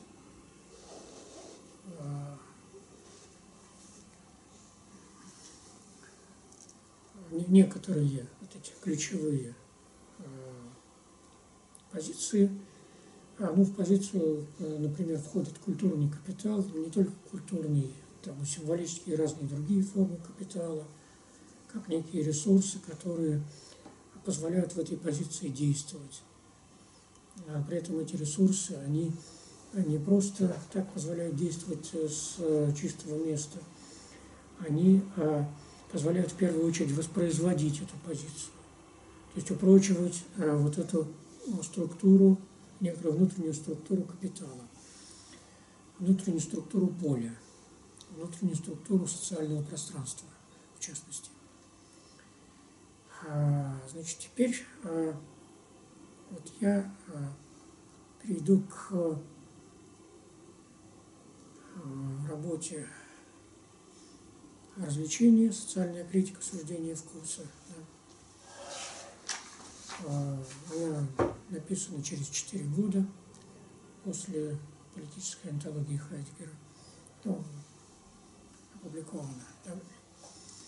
Задача, которую преследовал здесь Бурдье, заключалась в том, чтобы сделать порядок представления максимально приближенным к реальному процессу исследований. И постепенно в порядке выполнения представлять операции, которые привели к систематическому объяснению данных, собранных в различных статистических и этнографических исследованиях. Ну, во-первых, здесь вот этот вот процесс исследования, который э, ну, в себе имел некоторый порядок или даже некоторое множество порядков – вот. И а, представление. Представление чего? Результатов. Результатом является систематическое объяснение полученных данных. А, он различает порядок представления а, и а, реальный процесс исследований. В а, диалектической логике, э, ну не только в диалектической, это различается как логика исследование и логика изложения. Логика исследования, она в ходе осуществления исследования есть некоторая.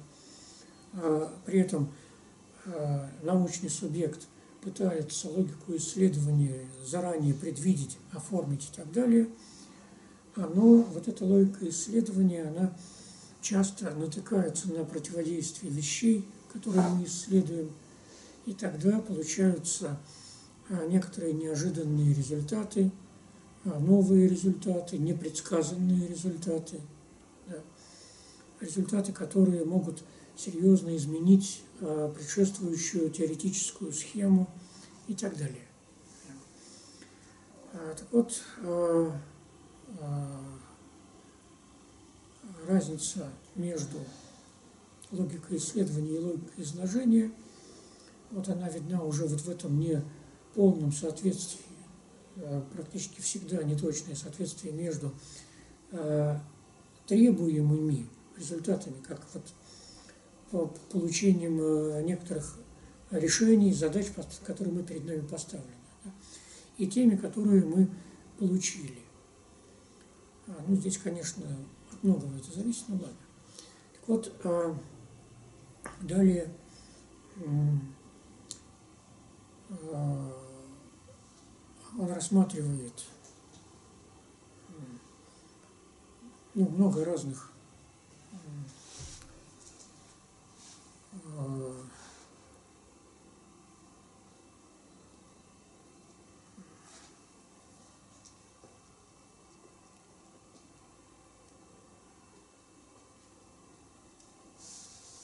много разных полей,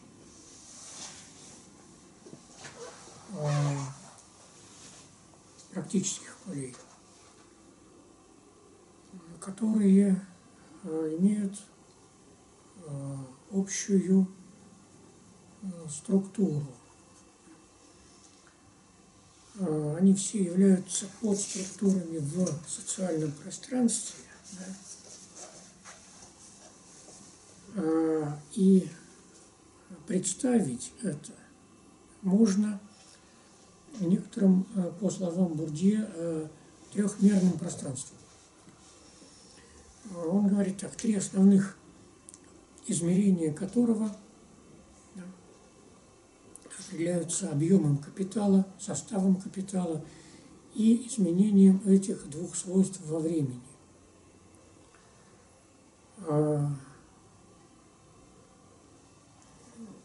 Ну, вот это а, перевод с английского а, текста. Я, к сожалению, по-французски не читаю. Вот. Но вот немецкий текст Э, говорит не об изменении во времени, а, а там речь идет о, развитии во времени, во временном развитии. А, собственно, а тут а,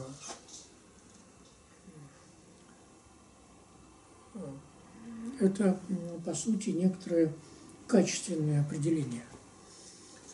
А, Значит, объем капитала.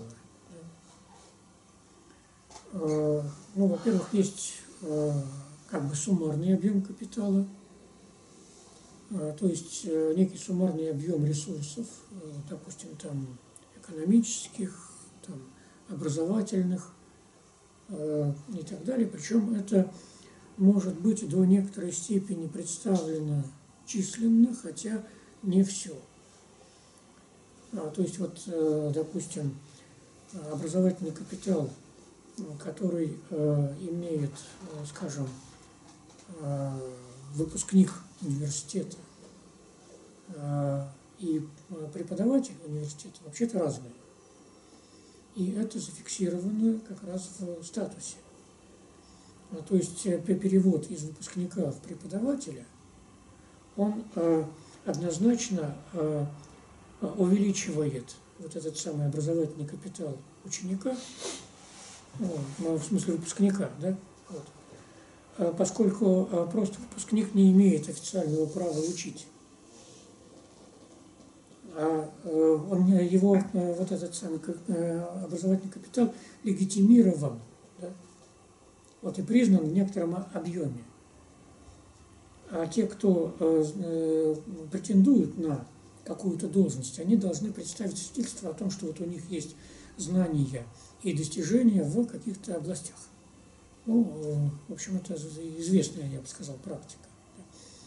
То есть само по себе окончание университета, оно уже закрепило за выпускником некий образовательный капитал, и он уже может наниматься на работу, как вот человек, имеющий какие-то знания. Да? Но для того, чтобы перейти на другую Э, ступеньку вот э, этого образовательного капитала, а ему этого не хватает. В частности, вот э, такая вещь, опыт практической работы часто требует. Да? Вот, то есть у тебя могут быть прекрасные оценки в аттестате, да, но вот это еще вот не говорит о том, что ты прекрасно делаешь вот, ну, разные вещи, которые вот там ну, ну, потому что оценки в некотором смысле случайные. В некотором смысле, да. А в разных науках по-разному. Ну, ну ладно, в общем, это я а, раз а, некие рассуждения внешние а, привел. Но вот для пояснения того, что вот этот объем капитала, да, он является а, некоторым а, таким измерением, как бы, да, то есть это, по сути, некоторая шкала, оценочная шкала вообще-то. Некоторые ее компоненты могут быть относительно измерены. Но это вообще-то не измерение в том смысле, что там а, есть э, некоторая числовая мера. То же самое состав капитала. А, здесь а, речь идет о композиции капитала. То есть о некоторой, так сказать, фигуре или форме, да, в которой сочетаются вот эти самые ресурсы, Да? А, а при этом а, эти композиции это вот второе измерение. То есть некоторое множество ресурсов это одно, а некоторая рабочая конфигурация этих ресурсов это совсем другое. Это тоже некоторое качественное такое вот а, измерение. Опять-таки тут а, можно попытаться а, количественно измерить, пытаясь измерять эффективность. Да? Вот квази, а, значит, а, квазиизмерение, да, это, это вот сейчас количество статей для ученых. Ну, попытаются понять, вот кто из ученых, находящихся на, на таком-то месте, вот лучше значит, сконфигурировал свои ресурсы так, что получились результаты, которые там признаны в качестве вот, принимаемых. Да? А, то есть вот можно пытаться создать измерение, да, вот, но вот такое измерение оказывается а, плохо представляющим некоторую действительную структуру вот этого а, состава капитала или композиции капитала.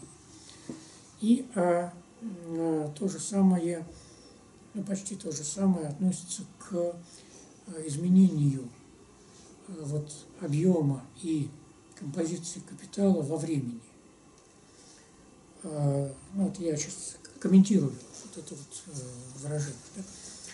То есть Бурдье говорит, что это изменение проявляется в прошлой потенциальной траектории в социальном пространстве. А вот здесь чем задается траектория в социальном пространстве и траектория чего? С одной стороны, а, у нас есть капиталы разных видов. Да? И, соответственно, есть социальная траектория капитала в целом, экономического капитала в социальном пространстве, значит, э, культурного капитала, образовательного капитала, символического капитала. Да? Вот. А, а, и а, а можно а, пытаться как-то определять значимость взаимную. Да? Сейчас э, крайне значимо, значим экономический капитал, а, но а, он определяет не все в современном мире. А, значимы также вот явные и неявные институции, как экономические, так и внеэкономические. Ясно, что, допустим, политический капитал, значит, он тесно связан с экономическим, но может Э, как бы оказывать обратное воздействие, влияние и так далее, уменьшать экономический капитал э, и прочее. Тут разного рода борьба происходит. Вот э, известная, так сказать, тема о борьбе классификации. Да? То есть, вот если мы говорим о, о габитусе, да, а в чем выражается вот это самое существование э, габитуса. А, минуточку.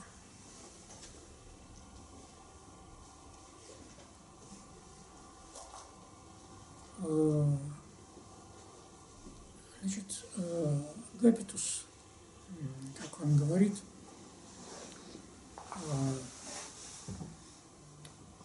это порождающий принцип – объективно классифицируемых практик и одновременно система классификации этих практик. А, у людей а, как а, взятых индивидуально, так и коллективно, есть некие способности, способность производить классифицируемые практики, равно как и продукты этих практик, которые тоже оказываются классифицируемыми, и а, различать и оценивать эти классифицированные практики и их продукты.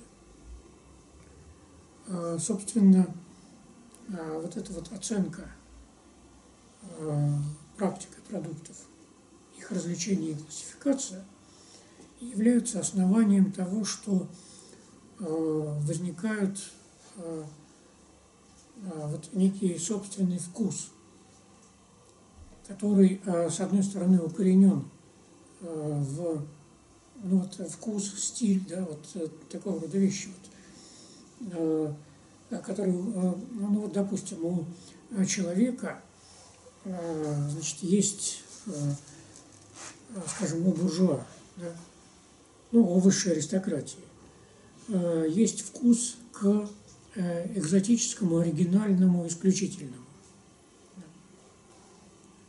Значит, у среднего слоя есть вкус к значит, выбору нормального, достаточного, вот, и так далее. А у низших слоев э, есть э, возможность выбора необходимого. Но выбор только из необходимого. Он не может перейти на уровень достаточного обеспечения, да? и он не может перейти на уровень э, э, значит, оригинального, значит, особенного, единственного и так далее. А а при этом вот эти вот а, вкусы, они являются объективированными. То есть а, есть некоторый спектр вот, этих, вот этого оригинального, да, из которого выбирают, которые создают и классифицируют высшая аристократия. Есть спектры, которые, спектры вот этих среднего класса, спектра вкусов. Да? А, так.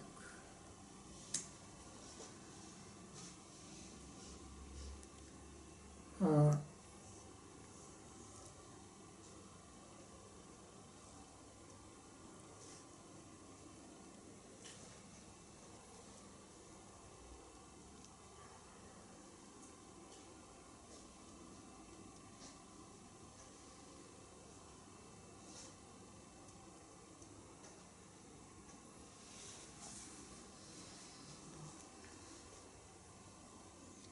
Вот э, тут он приводит примеры, примеры питания, да, социальное определение надлежащего питания.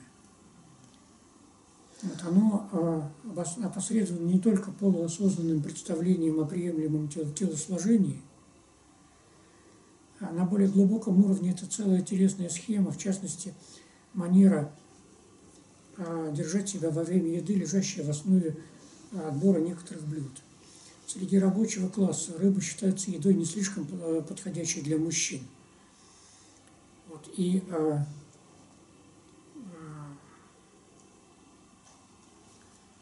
а, не только потому, что она, что это легкая пища, а не только потому, что ее готовят для больных и для детей, но и потому, что она вместе с фруктами – принадлежит к числу э, э, деликатных вещей. А рыбу есть э, необходимо образом, который противоречит собственной мужской манере, сдержанно, небольшими кусочками, слегка пережевывая, используя переднюю часть рта на кончиках зубов из-за рыбьих костей. Значит, две манеры есть, да, вот кончиками губ небольшими кусочками, как женщины, только которому подходит ковыряться в тарелке и полным ртом, всеми зубами и большими кусками, как это подобает мужчинам.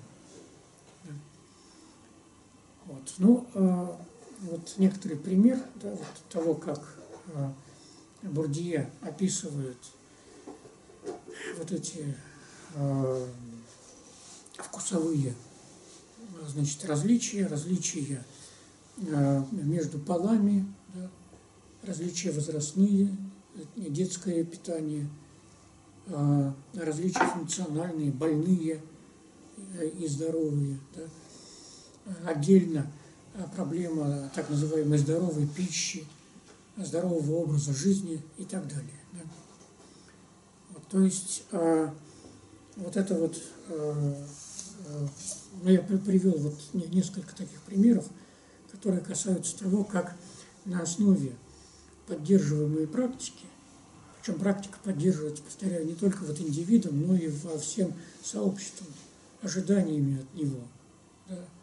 Вот, э, э, мужчине показаться женственным, да, например. Э, ну, и так далее. А, ну или а, значит, здесь а, мы видим, что вот эти габитусы, вот, они порождают разные практики, как организованные конфигурации свойств, выражающих различия. Различия, которые объективно вписаны в условия существования в виде систем дифференциальных расхождений ну, различаемых расхождений. А, а габитус, таким образом, это некая структурирующая структура, организует практики восприятия.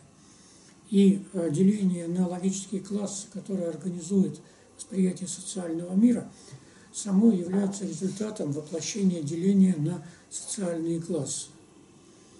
А условия существования каждого класса и его состояние, положение, да, определяется и через внутренне присущие свойства, и через свойства реляционные.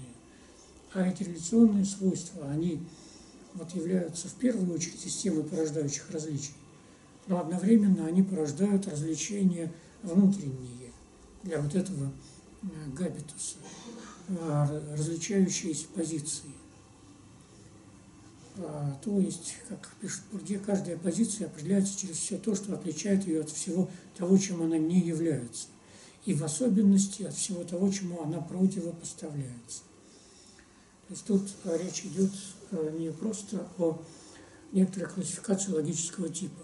Вот есть некоторый набор значит, свойств, да, и вот он определяет класс, который отличен от другого класса по всем свойствам.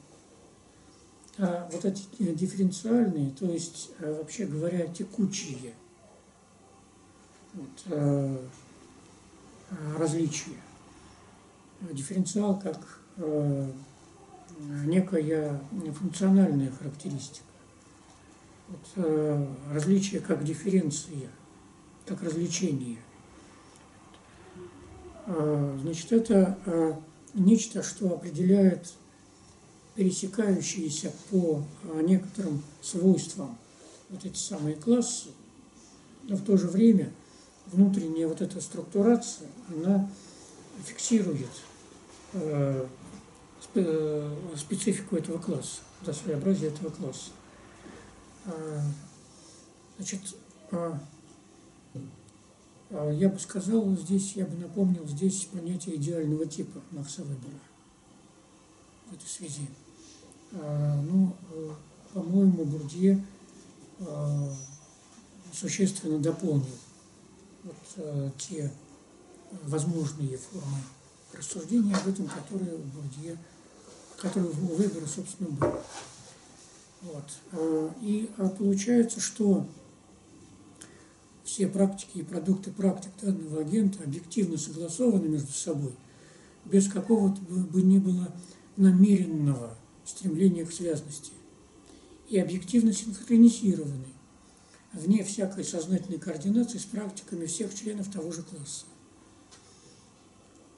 А, значит, вот а, некоторая конструкция, да, а, габитус, как объективированная вот эта вот структура, порождающая структурирование.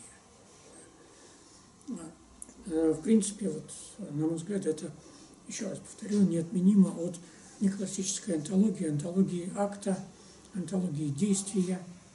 Да.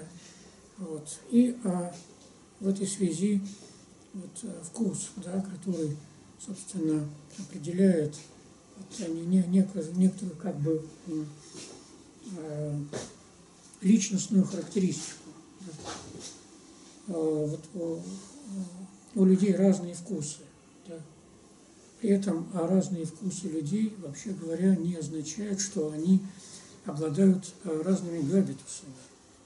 Потому что вот эти вот развлечения внутри, да, вот, э, они, они нивелируются одинаковым развлечением по отношению вовне, практическим развлечением. Вот, э, как пишет Бурдье, вкус является практическим оператором преобразования вещей в отличные и отличительные знаки, непрерывных распределений по дискретным оппозициям. Он переносит различия, вписанные в физический строй тел, в символический строй значимых различий. Вкус преобразует объективно классифицированные практики, через которые обозначаются социальные положения, в классифицирующие практики. Вот, и э, э, здесь получается, что вкус – это некоторая такая э, действительная характеристика, характеристика действия. Да? Вот, оператор э, э, Значит, я э, еще раз обращаю внимание на принципиальную необходимость для рассмотрения Бурдье а вот этих моментов, объективирующих субъективное. Да. А, а, объективирует субъективное, означает в частности то, что не осознается а, а, не осознается, да, но сознательно делается. Делается сознанием дела, да, но неосознанно. А вот некоторая форма а, как бы разрешения вот этого ну, нахождения некоторого опосредования между тем, что а, на деле, в, в делах, да, в актах и в мысли, а как а, тоже в акте, но в представлении о том, что происходит на деле. И смена вот этих позиций взаимодействия, круговое воспроизводство, одна из ключевых работ Буртье и Пасрона называется воспроизводство. Речь идет о воспроизводстве социальной жизни. Значит, вот я э, э, описал, э, описал то, как э, значит, вот самые разные э, феномены действия, ситуации, конструкции, положения, да, изменения положений. Бурдье рассматривает э, более или менее однообразно с точки зрения объективации. Просто само понятие объективации оказывается таким, что вот то, что приобретает воспроизводящееся объективное существование, то и объективировано. И а, а, от этой объективации никуда не могут деться мысли, допустим, разные. Да? А, значит, они, если не объективированы, исчезают. А если они объективированы, то они воспроизводятся ну, хотя бы внутри сознания, как некоторая достаточно четкая форма выраженная, по крайней мере словесно. А, ну, более или менее однозначно фиксированная. Да. И вот а, а, я хочу уже, в общем, мало времени, практически не осталось времени. Я надеюсь, что еще, может быть, какие-то вопросы будут. Но э, вот эту вот линию, связывающую Бурдье с Марксом, э, ну, идейно, э, в послесловии к вот этой работе развлечения, да, критика суждения вкуса, э, он пишет, что э, э, ну, вот есть русский частичный перевод, да, который не совсем точен. Он пишет о том, что вот есть ощущения, да, и э, те, кто подчиняется ощущению, а, они, э, ну вот те, кто являются субъектами вот этих самых неточных, нечетких объективаций, да, а, вот они а, не знают того ужаса, который возникает у тех, кто объективирует ощущения и их понятийно, словесно, осознанно оформляет, а, а у этих товарищей а, значит, возникает некий ужас из-за устранения дистанции между представлением и представленной вещью, на которой утверждается свобода. На дистанции между представлением и представленной вещью утверждается свобода. И дальше Бордье пишет, что это происходит из-за отчуждения, из-за потери субъекта в объекте. Здесь он имеет в виду, как я понимаю, ну, прежде всего Сартра и разных других э, мыслителей, которые э, значит, принципиально антитоталитарны. А а при этом объективацию они рассматривают именно как потерю субъекта, как тоталитарность, отчуждение и прочее. Есть такая линия в истолковании раннего Маркса. А, а, ну вот, как говорит Бурдье, это происходит потому, что непосредственное подчинение непосредственному настоящему да, может происходить из-за того, что есть насилие того, с чем мы соглашаемся, того, с чем можно соглашаться, того, что ну, как сказать, соглашабельно. Да? Вот, в английском тексте это слово agreeable. Вот это вот согласие, да, подчинение согласию, вот оно э, может проистекать так, что э, мы устраняем дистанцию между представлением и представленной вещью. Но именно вот в этой дистанции между представлением и представленной вещью, повторяю, по Бурдье как раз и утверждается наша свобода.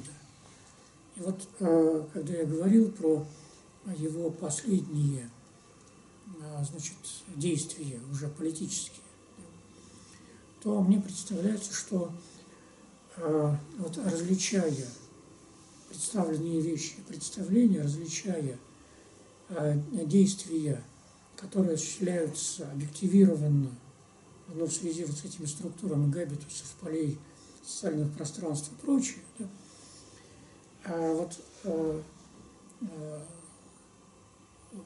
принимая во внимание, актуально принимая во внимание эту дистанцию – а можно добиться свободы. Вот так я интерпретирую э, вот это вот э, э, утверждение Буртье как в некотором смысле методологическое для дальнейшего вот, в исследовании объективации, в рассмотрении отношений к объективации и прочее. Значит, вот говорить можно много еще чего, но давайте вот я может быть, э, если есть какие-то вопросы, я бы, может быть, что-то еще ответил. Так, спасибо. Так, ну давайте к вопросам перейдем. Так, Сергей Павлович. Вопросы. Очень э, интересна последняя часть насчет развлечений. Я считаю, что это основная такая работа. Хотелось бы больше про нее узнать. К сожалению, она на русский не переведена. Но, к сожалению же, я вот последний год не смог читать новых книг Бурдье. А вышло две книги, два толстых сборника его лекций. Один по экономической антропологии, который он читал, а вторая по государственных, как я знаю. Я просто эти книги заимел. Вы их не, не прорабатывали, не читали, нет? Я, я объясняю, в чем дело. А, У меня была попытка, вот мы с товарищами пытались, э, не профессионалами, освоить Бурдье по первым русским переводам а, его, когда еще книги были редкие, я списывался даже с переводчиком. У него, у него, на мой взгляд, очень сложный язык и дискурс. Как его не переводи, это какая-то особенность этих французских э, homo-академиков. Они так пишут, они так излагают. А вот в лекциях они вынуждены приноравливаться к аудитории, они говорят немножко проще. Я читал некоторые вещи. Мне кажется, попытка изложить вот таким более простым языком, что вы как раз и делаете. А, Ну, э, не простым, а, так сказать, э, пере- переведенным, переведенным не буквально, а переведенным в ваш собственный какой-то понятийный категориальный ряд. Это очень благое дело, потому что Бурдье очень э, за исключением вот этого Хайдегера, там да, такая публицистическая, на мой взгляд, книга. Вы нам о ней много говорили, но, по-моему, она, э, так сказать, она такая жесткая, публицистическая, она не теоретическая. И, к сожалению, почему-то никто не говорит о том э, его главном труде. Я не знаю, вот вопрос к вам заключается в том. Э, Государственная знать книгу, как вы оцениваете, если вы о ней слышали, а, так сказать, люди, которые были близки к Бурдье, утверждают, что это его капитал. Ну, э, Ну, как бы эквивалент капитала. Я, по крайней мере, такие суждения э, от- отследил. Дело вот в чем. Вы много внимания уделили тому, что его теория качественная. Там как-то как все очень трудно измерять вот, в каких-то вещах. Вот это для меня самый главный еще, кр- кроме дискурса, затык. А в этой книге он что-то там с товарищами измеряет. Они взяли базу всех выпускников Эколь Нормаль и еще э, каких-то. И по всей базе построили, э, так сказать, объективную картину государственной знати. Эта книга называется Noblesse d'État, вот так как-то по-французски, pardon my French. Вот. Там он пытался что-то измерять. Вот вам не считай, вы не считаете, что основная проблема с Бурдье вот, измерить неизмеримое? Вот, на на ваш взгляд, он справляется с этой проблемой? Ну, знаете, я э, скажу несколько, ну, за что было несколько как бы, таких вопросов, соображений. Ну, например, вот то, что вот работа про Хайдегера публицистическая, да, э, ну, э, разные его действия и выступления были вполне публицистическими, да, вот и вот здесь что такое публицистика, Упрощение это чего-то, вот тоже вот э, некое публицистическое, да, или нет. А, э, мне лично представляется, что это очень интересная и важная работа, прежде всего с точки зрения анализа идеологии. Потому что э, проводить корректный анализ идеологии, это, знаете, очень сложно. да.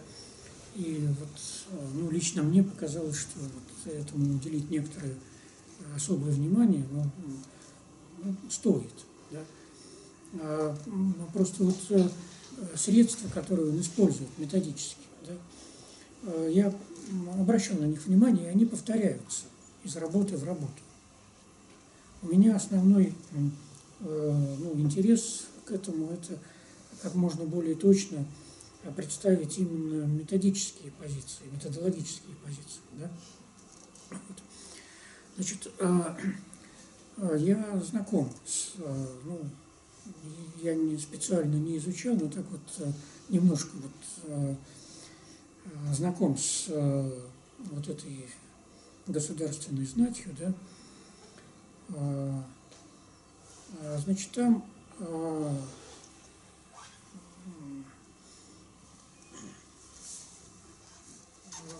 а, есть а, ну, некоторый анализ данных, да, а, но а, вот надо сказать, что далеко не все государственные посты заняты выпускниками вот этих высших школ. То есть это не полный анализ, как минимум. Это анализ э, скорее некоторой структуры или подструктуры, да, которая имеет как бы изначальное происхождение в этом поле образования, да, вот, а, но не все там были, да. А много, э, допустим, из политехнической школы э, высших.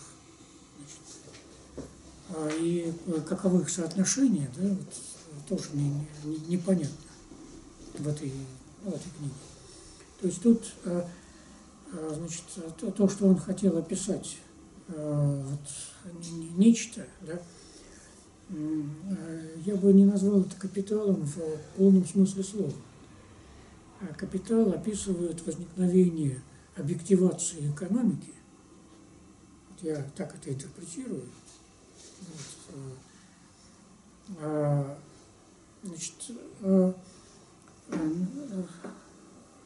на базе огромного материала, да, но при этом материал как бы сконцентрирован, и там вот некоторые аспекты, вот они на базе английских э, данных, а некоторые на базе французских, некоторые на базе американских там, или немецких, да, вот, э, то есть там э, нет, э, а там есть некоторое многообразие вот этих э, данных, оснований и так далее. Но надо сказать, что капитал Маркса не закончен, кроме всего прочего. Да? То есть тут э, можно ну, предполагать, что могло бы быть еще гораздо больше и так далее. А то, что вот работа Бурье закончена, ну, э, на мой взгляд, это свидетельствует о, некотором достаточно узком, э, так сказать, поле, которое он исследовал, и о его э, очень сильный интерес к символическим полям, полям образования, производства знаний и так далее. Э, э, нельзя сказать, что э, сам Бурдеев подчеркивал, что в разных условиях да, вот, возникают одни и те же типы объективации. Он как раз призывал их различать. То есть вот это я воспринимаю эту работу по значит, структуру Э, властных позиций выпускников там, э, Эколь Нормаль там, и так далее. Вот, э, значит, как описание некоторой конкретной частной объективации, и а, сам Буртье, ну, у него вот недавно вышло это Гомо Академикус, да, там фактически тот же материал представлен. Вот, вот, э, сам Бурдье говорил, что это вот э, конкретный анализ конкретного случая. Другое дело, что из этого вытекают некоторые обобщающие положения, но эти обобщающие положения не являются структурно неизменными, э, инвариантными и так далее. Хотя на некоторых промежутках времени, в некоторых регионах -то и так далее, они вполне себе инвариантны. Вот. А, значит, и а,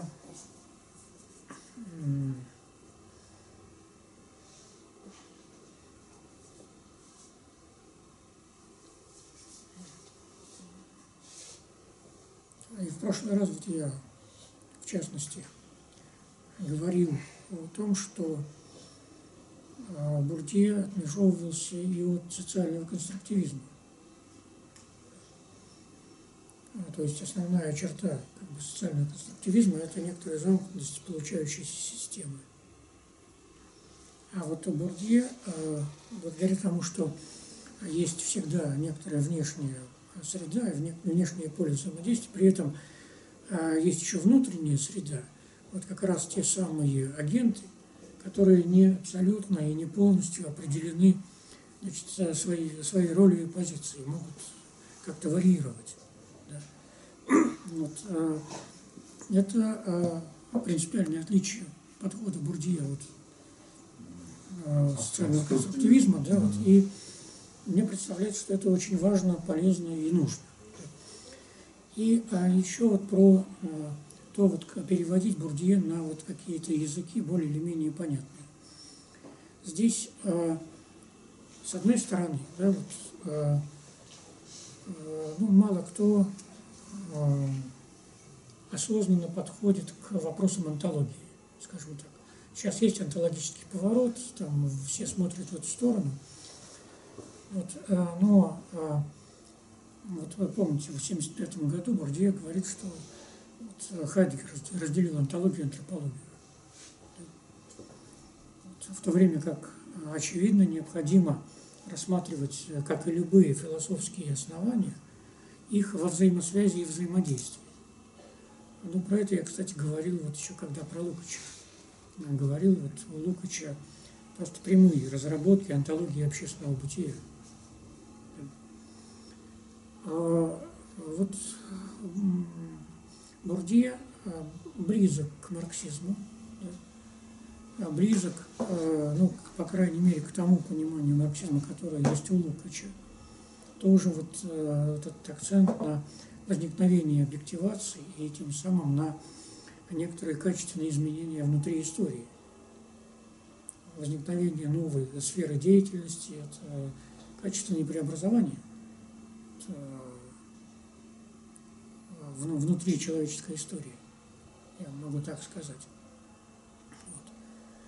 Вот. И с этой точки зрения вот, э, метод Бурдье, он э, ну, более развит, э, чем ну, большинство, я бы сказал, таких обычных социологических там, или э, философско-исторических концепций позволяют, э, на мой взгляд, опираясь на не только на вот некоторые ну, заранее заданные определенные ограниченный набор фактов, или э, опираясь на заранее заданную жестко сформулированную теорию что-то развивать. А вот исследовать как раз действительные изменения, вот, э, ну, собственно, и Маркс, как мне представляется, это делал. То есть параллели между Бурдей и Марксом э, не случайны, хотя я не сказал бы, что это в чистом виде марксистский метод. Да. Еще вопросы? Давайте, может, тогда завершение э, такой вопрос, чтобы э, слушатели лучше осознали предложенный материал. Значит, если сформулировать одним предложением основную методическую, методологическую инновацию Бурдье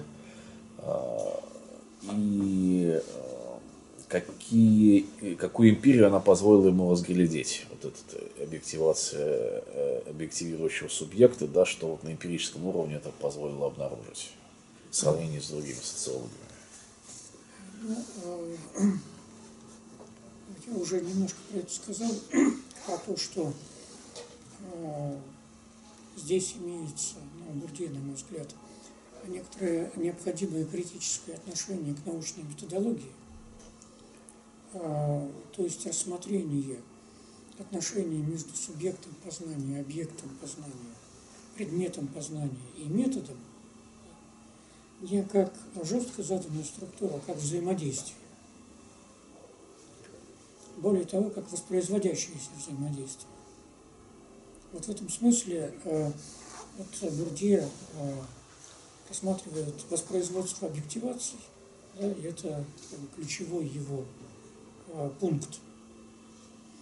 И э, это воспроизводство объективации он рассматривает на множестве разных уровней, совершая разного рода опосредования, переходы, связывая их многообразно. Да, вот, при этом опираясь на ну, значимые, статистически значимые массивы данных. То есть это ну, очень неплохой, на мой взгляд, вариант э, научного метода. То есть, ну, можно так сказать, что с помощью этого метода он смог объяснить какие-то феномены в сфере общественного сознания, идеологии и так далее. Вот чего если ну, так, он, он смог не только объяснить вообще нек- некоторые феномены. Он смог э, часть феноменов объяснить а некоторую часть феноменов он э, высветил. Да, благодаря такому подходу, то, что было э, неявным, не, э, непроговоренным э, и так далее, вот, ненамеренные разного рода вещи, да, а тем не менее лежащие в э, русле какой-то логики и, и прочее. Да. Значит, это э, более многообразная и более развитая техника вытаскивания вот этих скрытых предпосылок, условий, предположений и так далее, чем во многих других концепциях. Вот, то есть это тоже вот, ну, некоторая особенность, да? гораздо большая э, избирательность, гораздо большая внимательность к э, конкретному предмету, э, лучшее, лучшее основание для воспроизводства предмета в его конкретном существовании. Ну, как мы знаем, это тоже вот одно из требований логических Маркса. Спасибо. Давайте.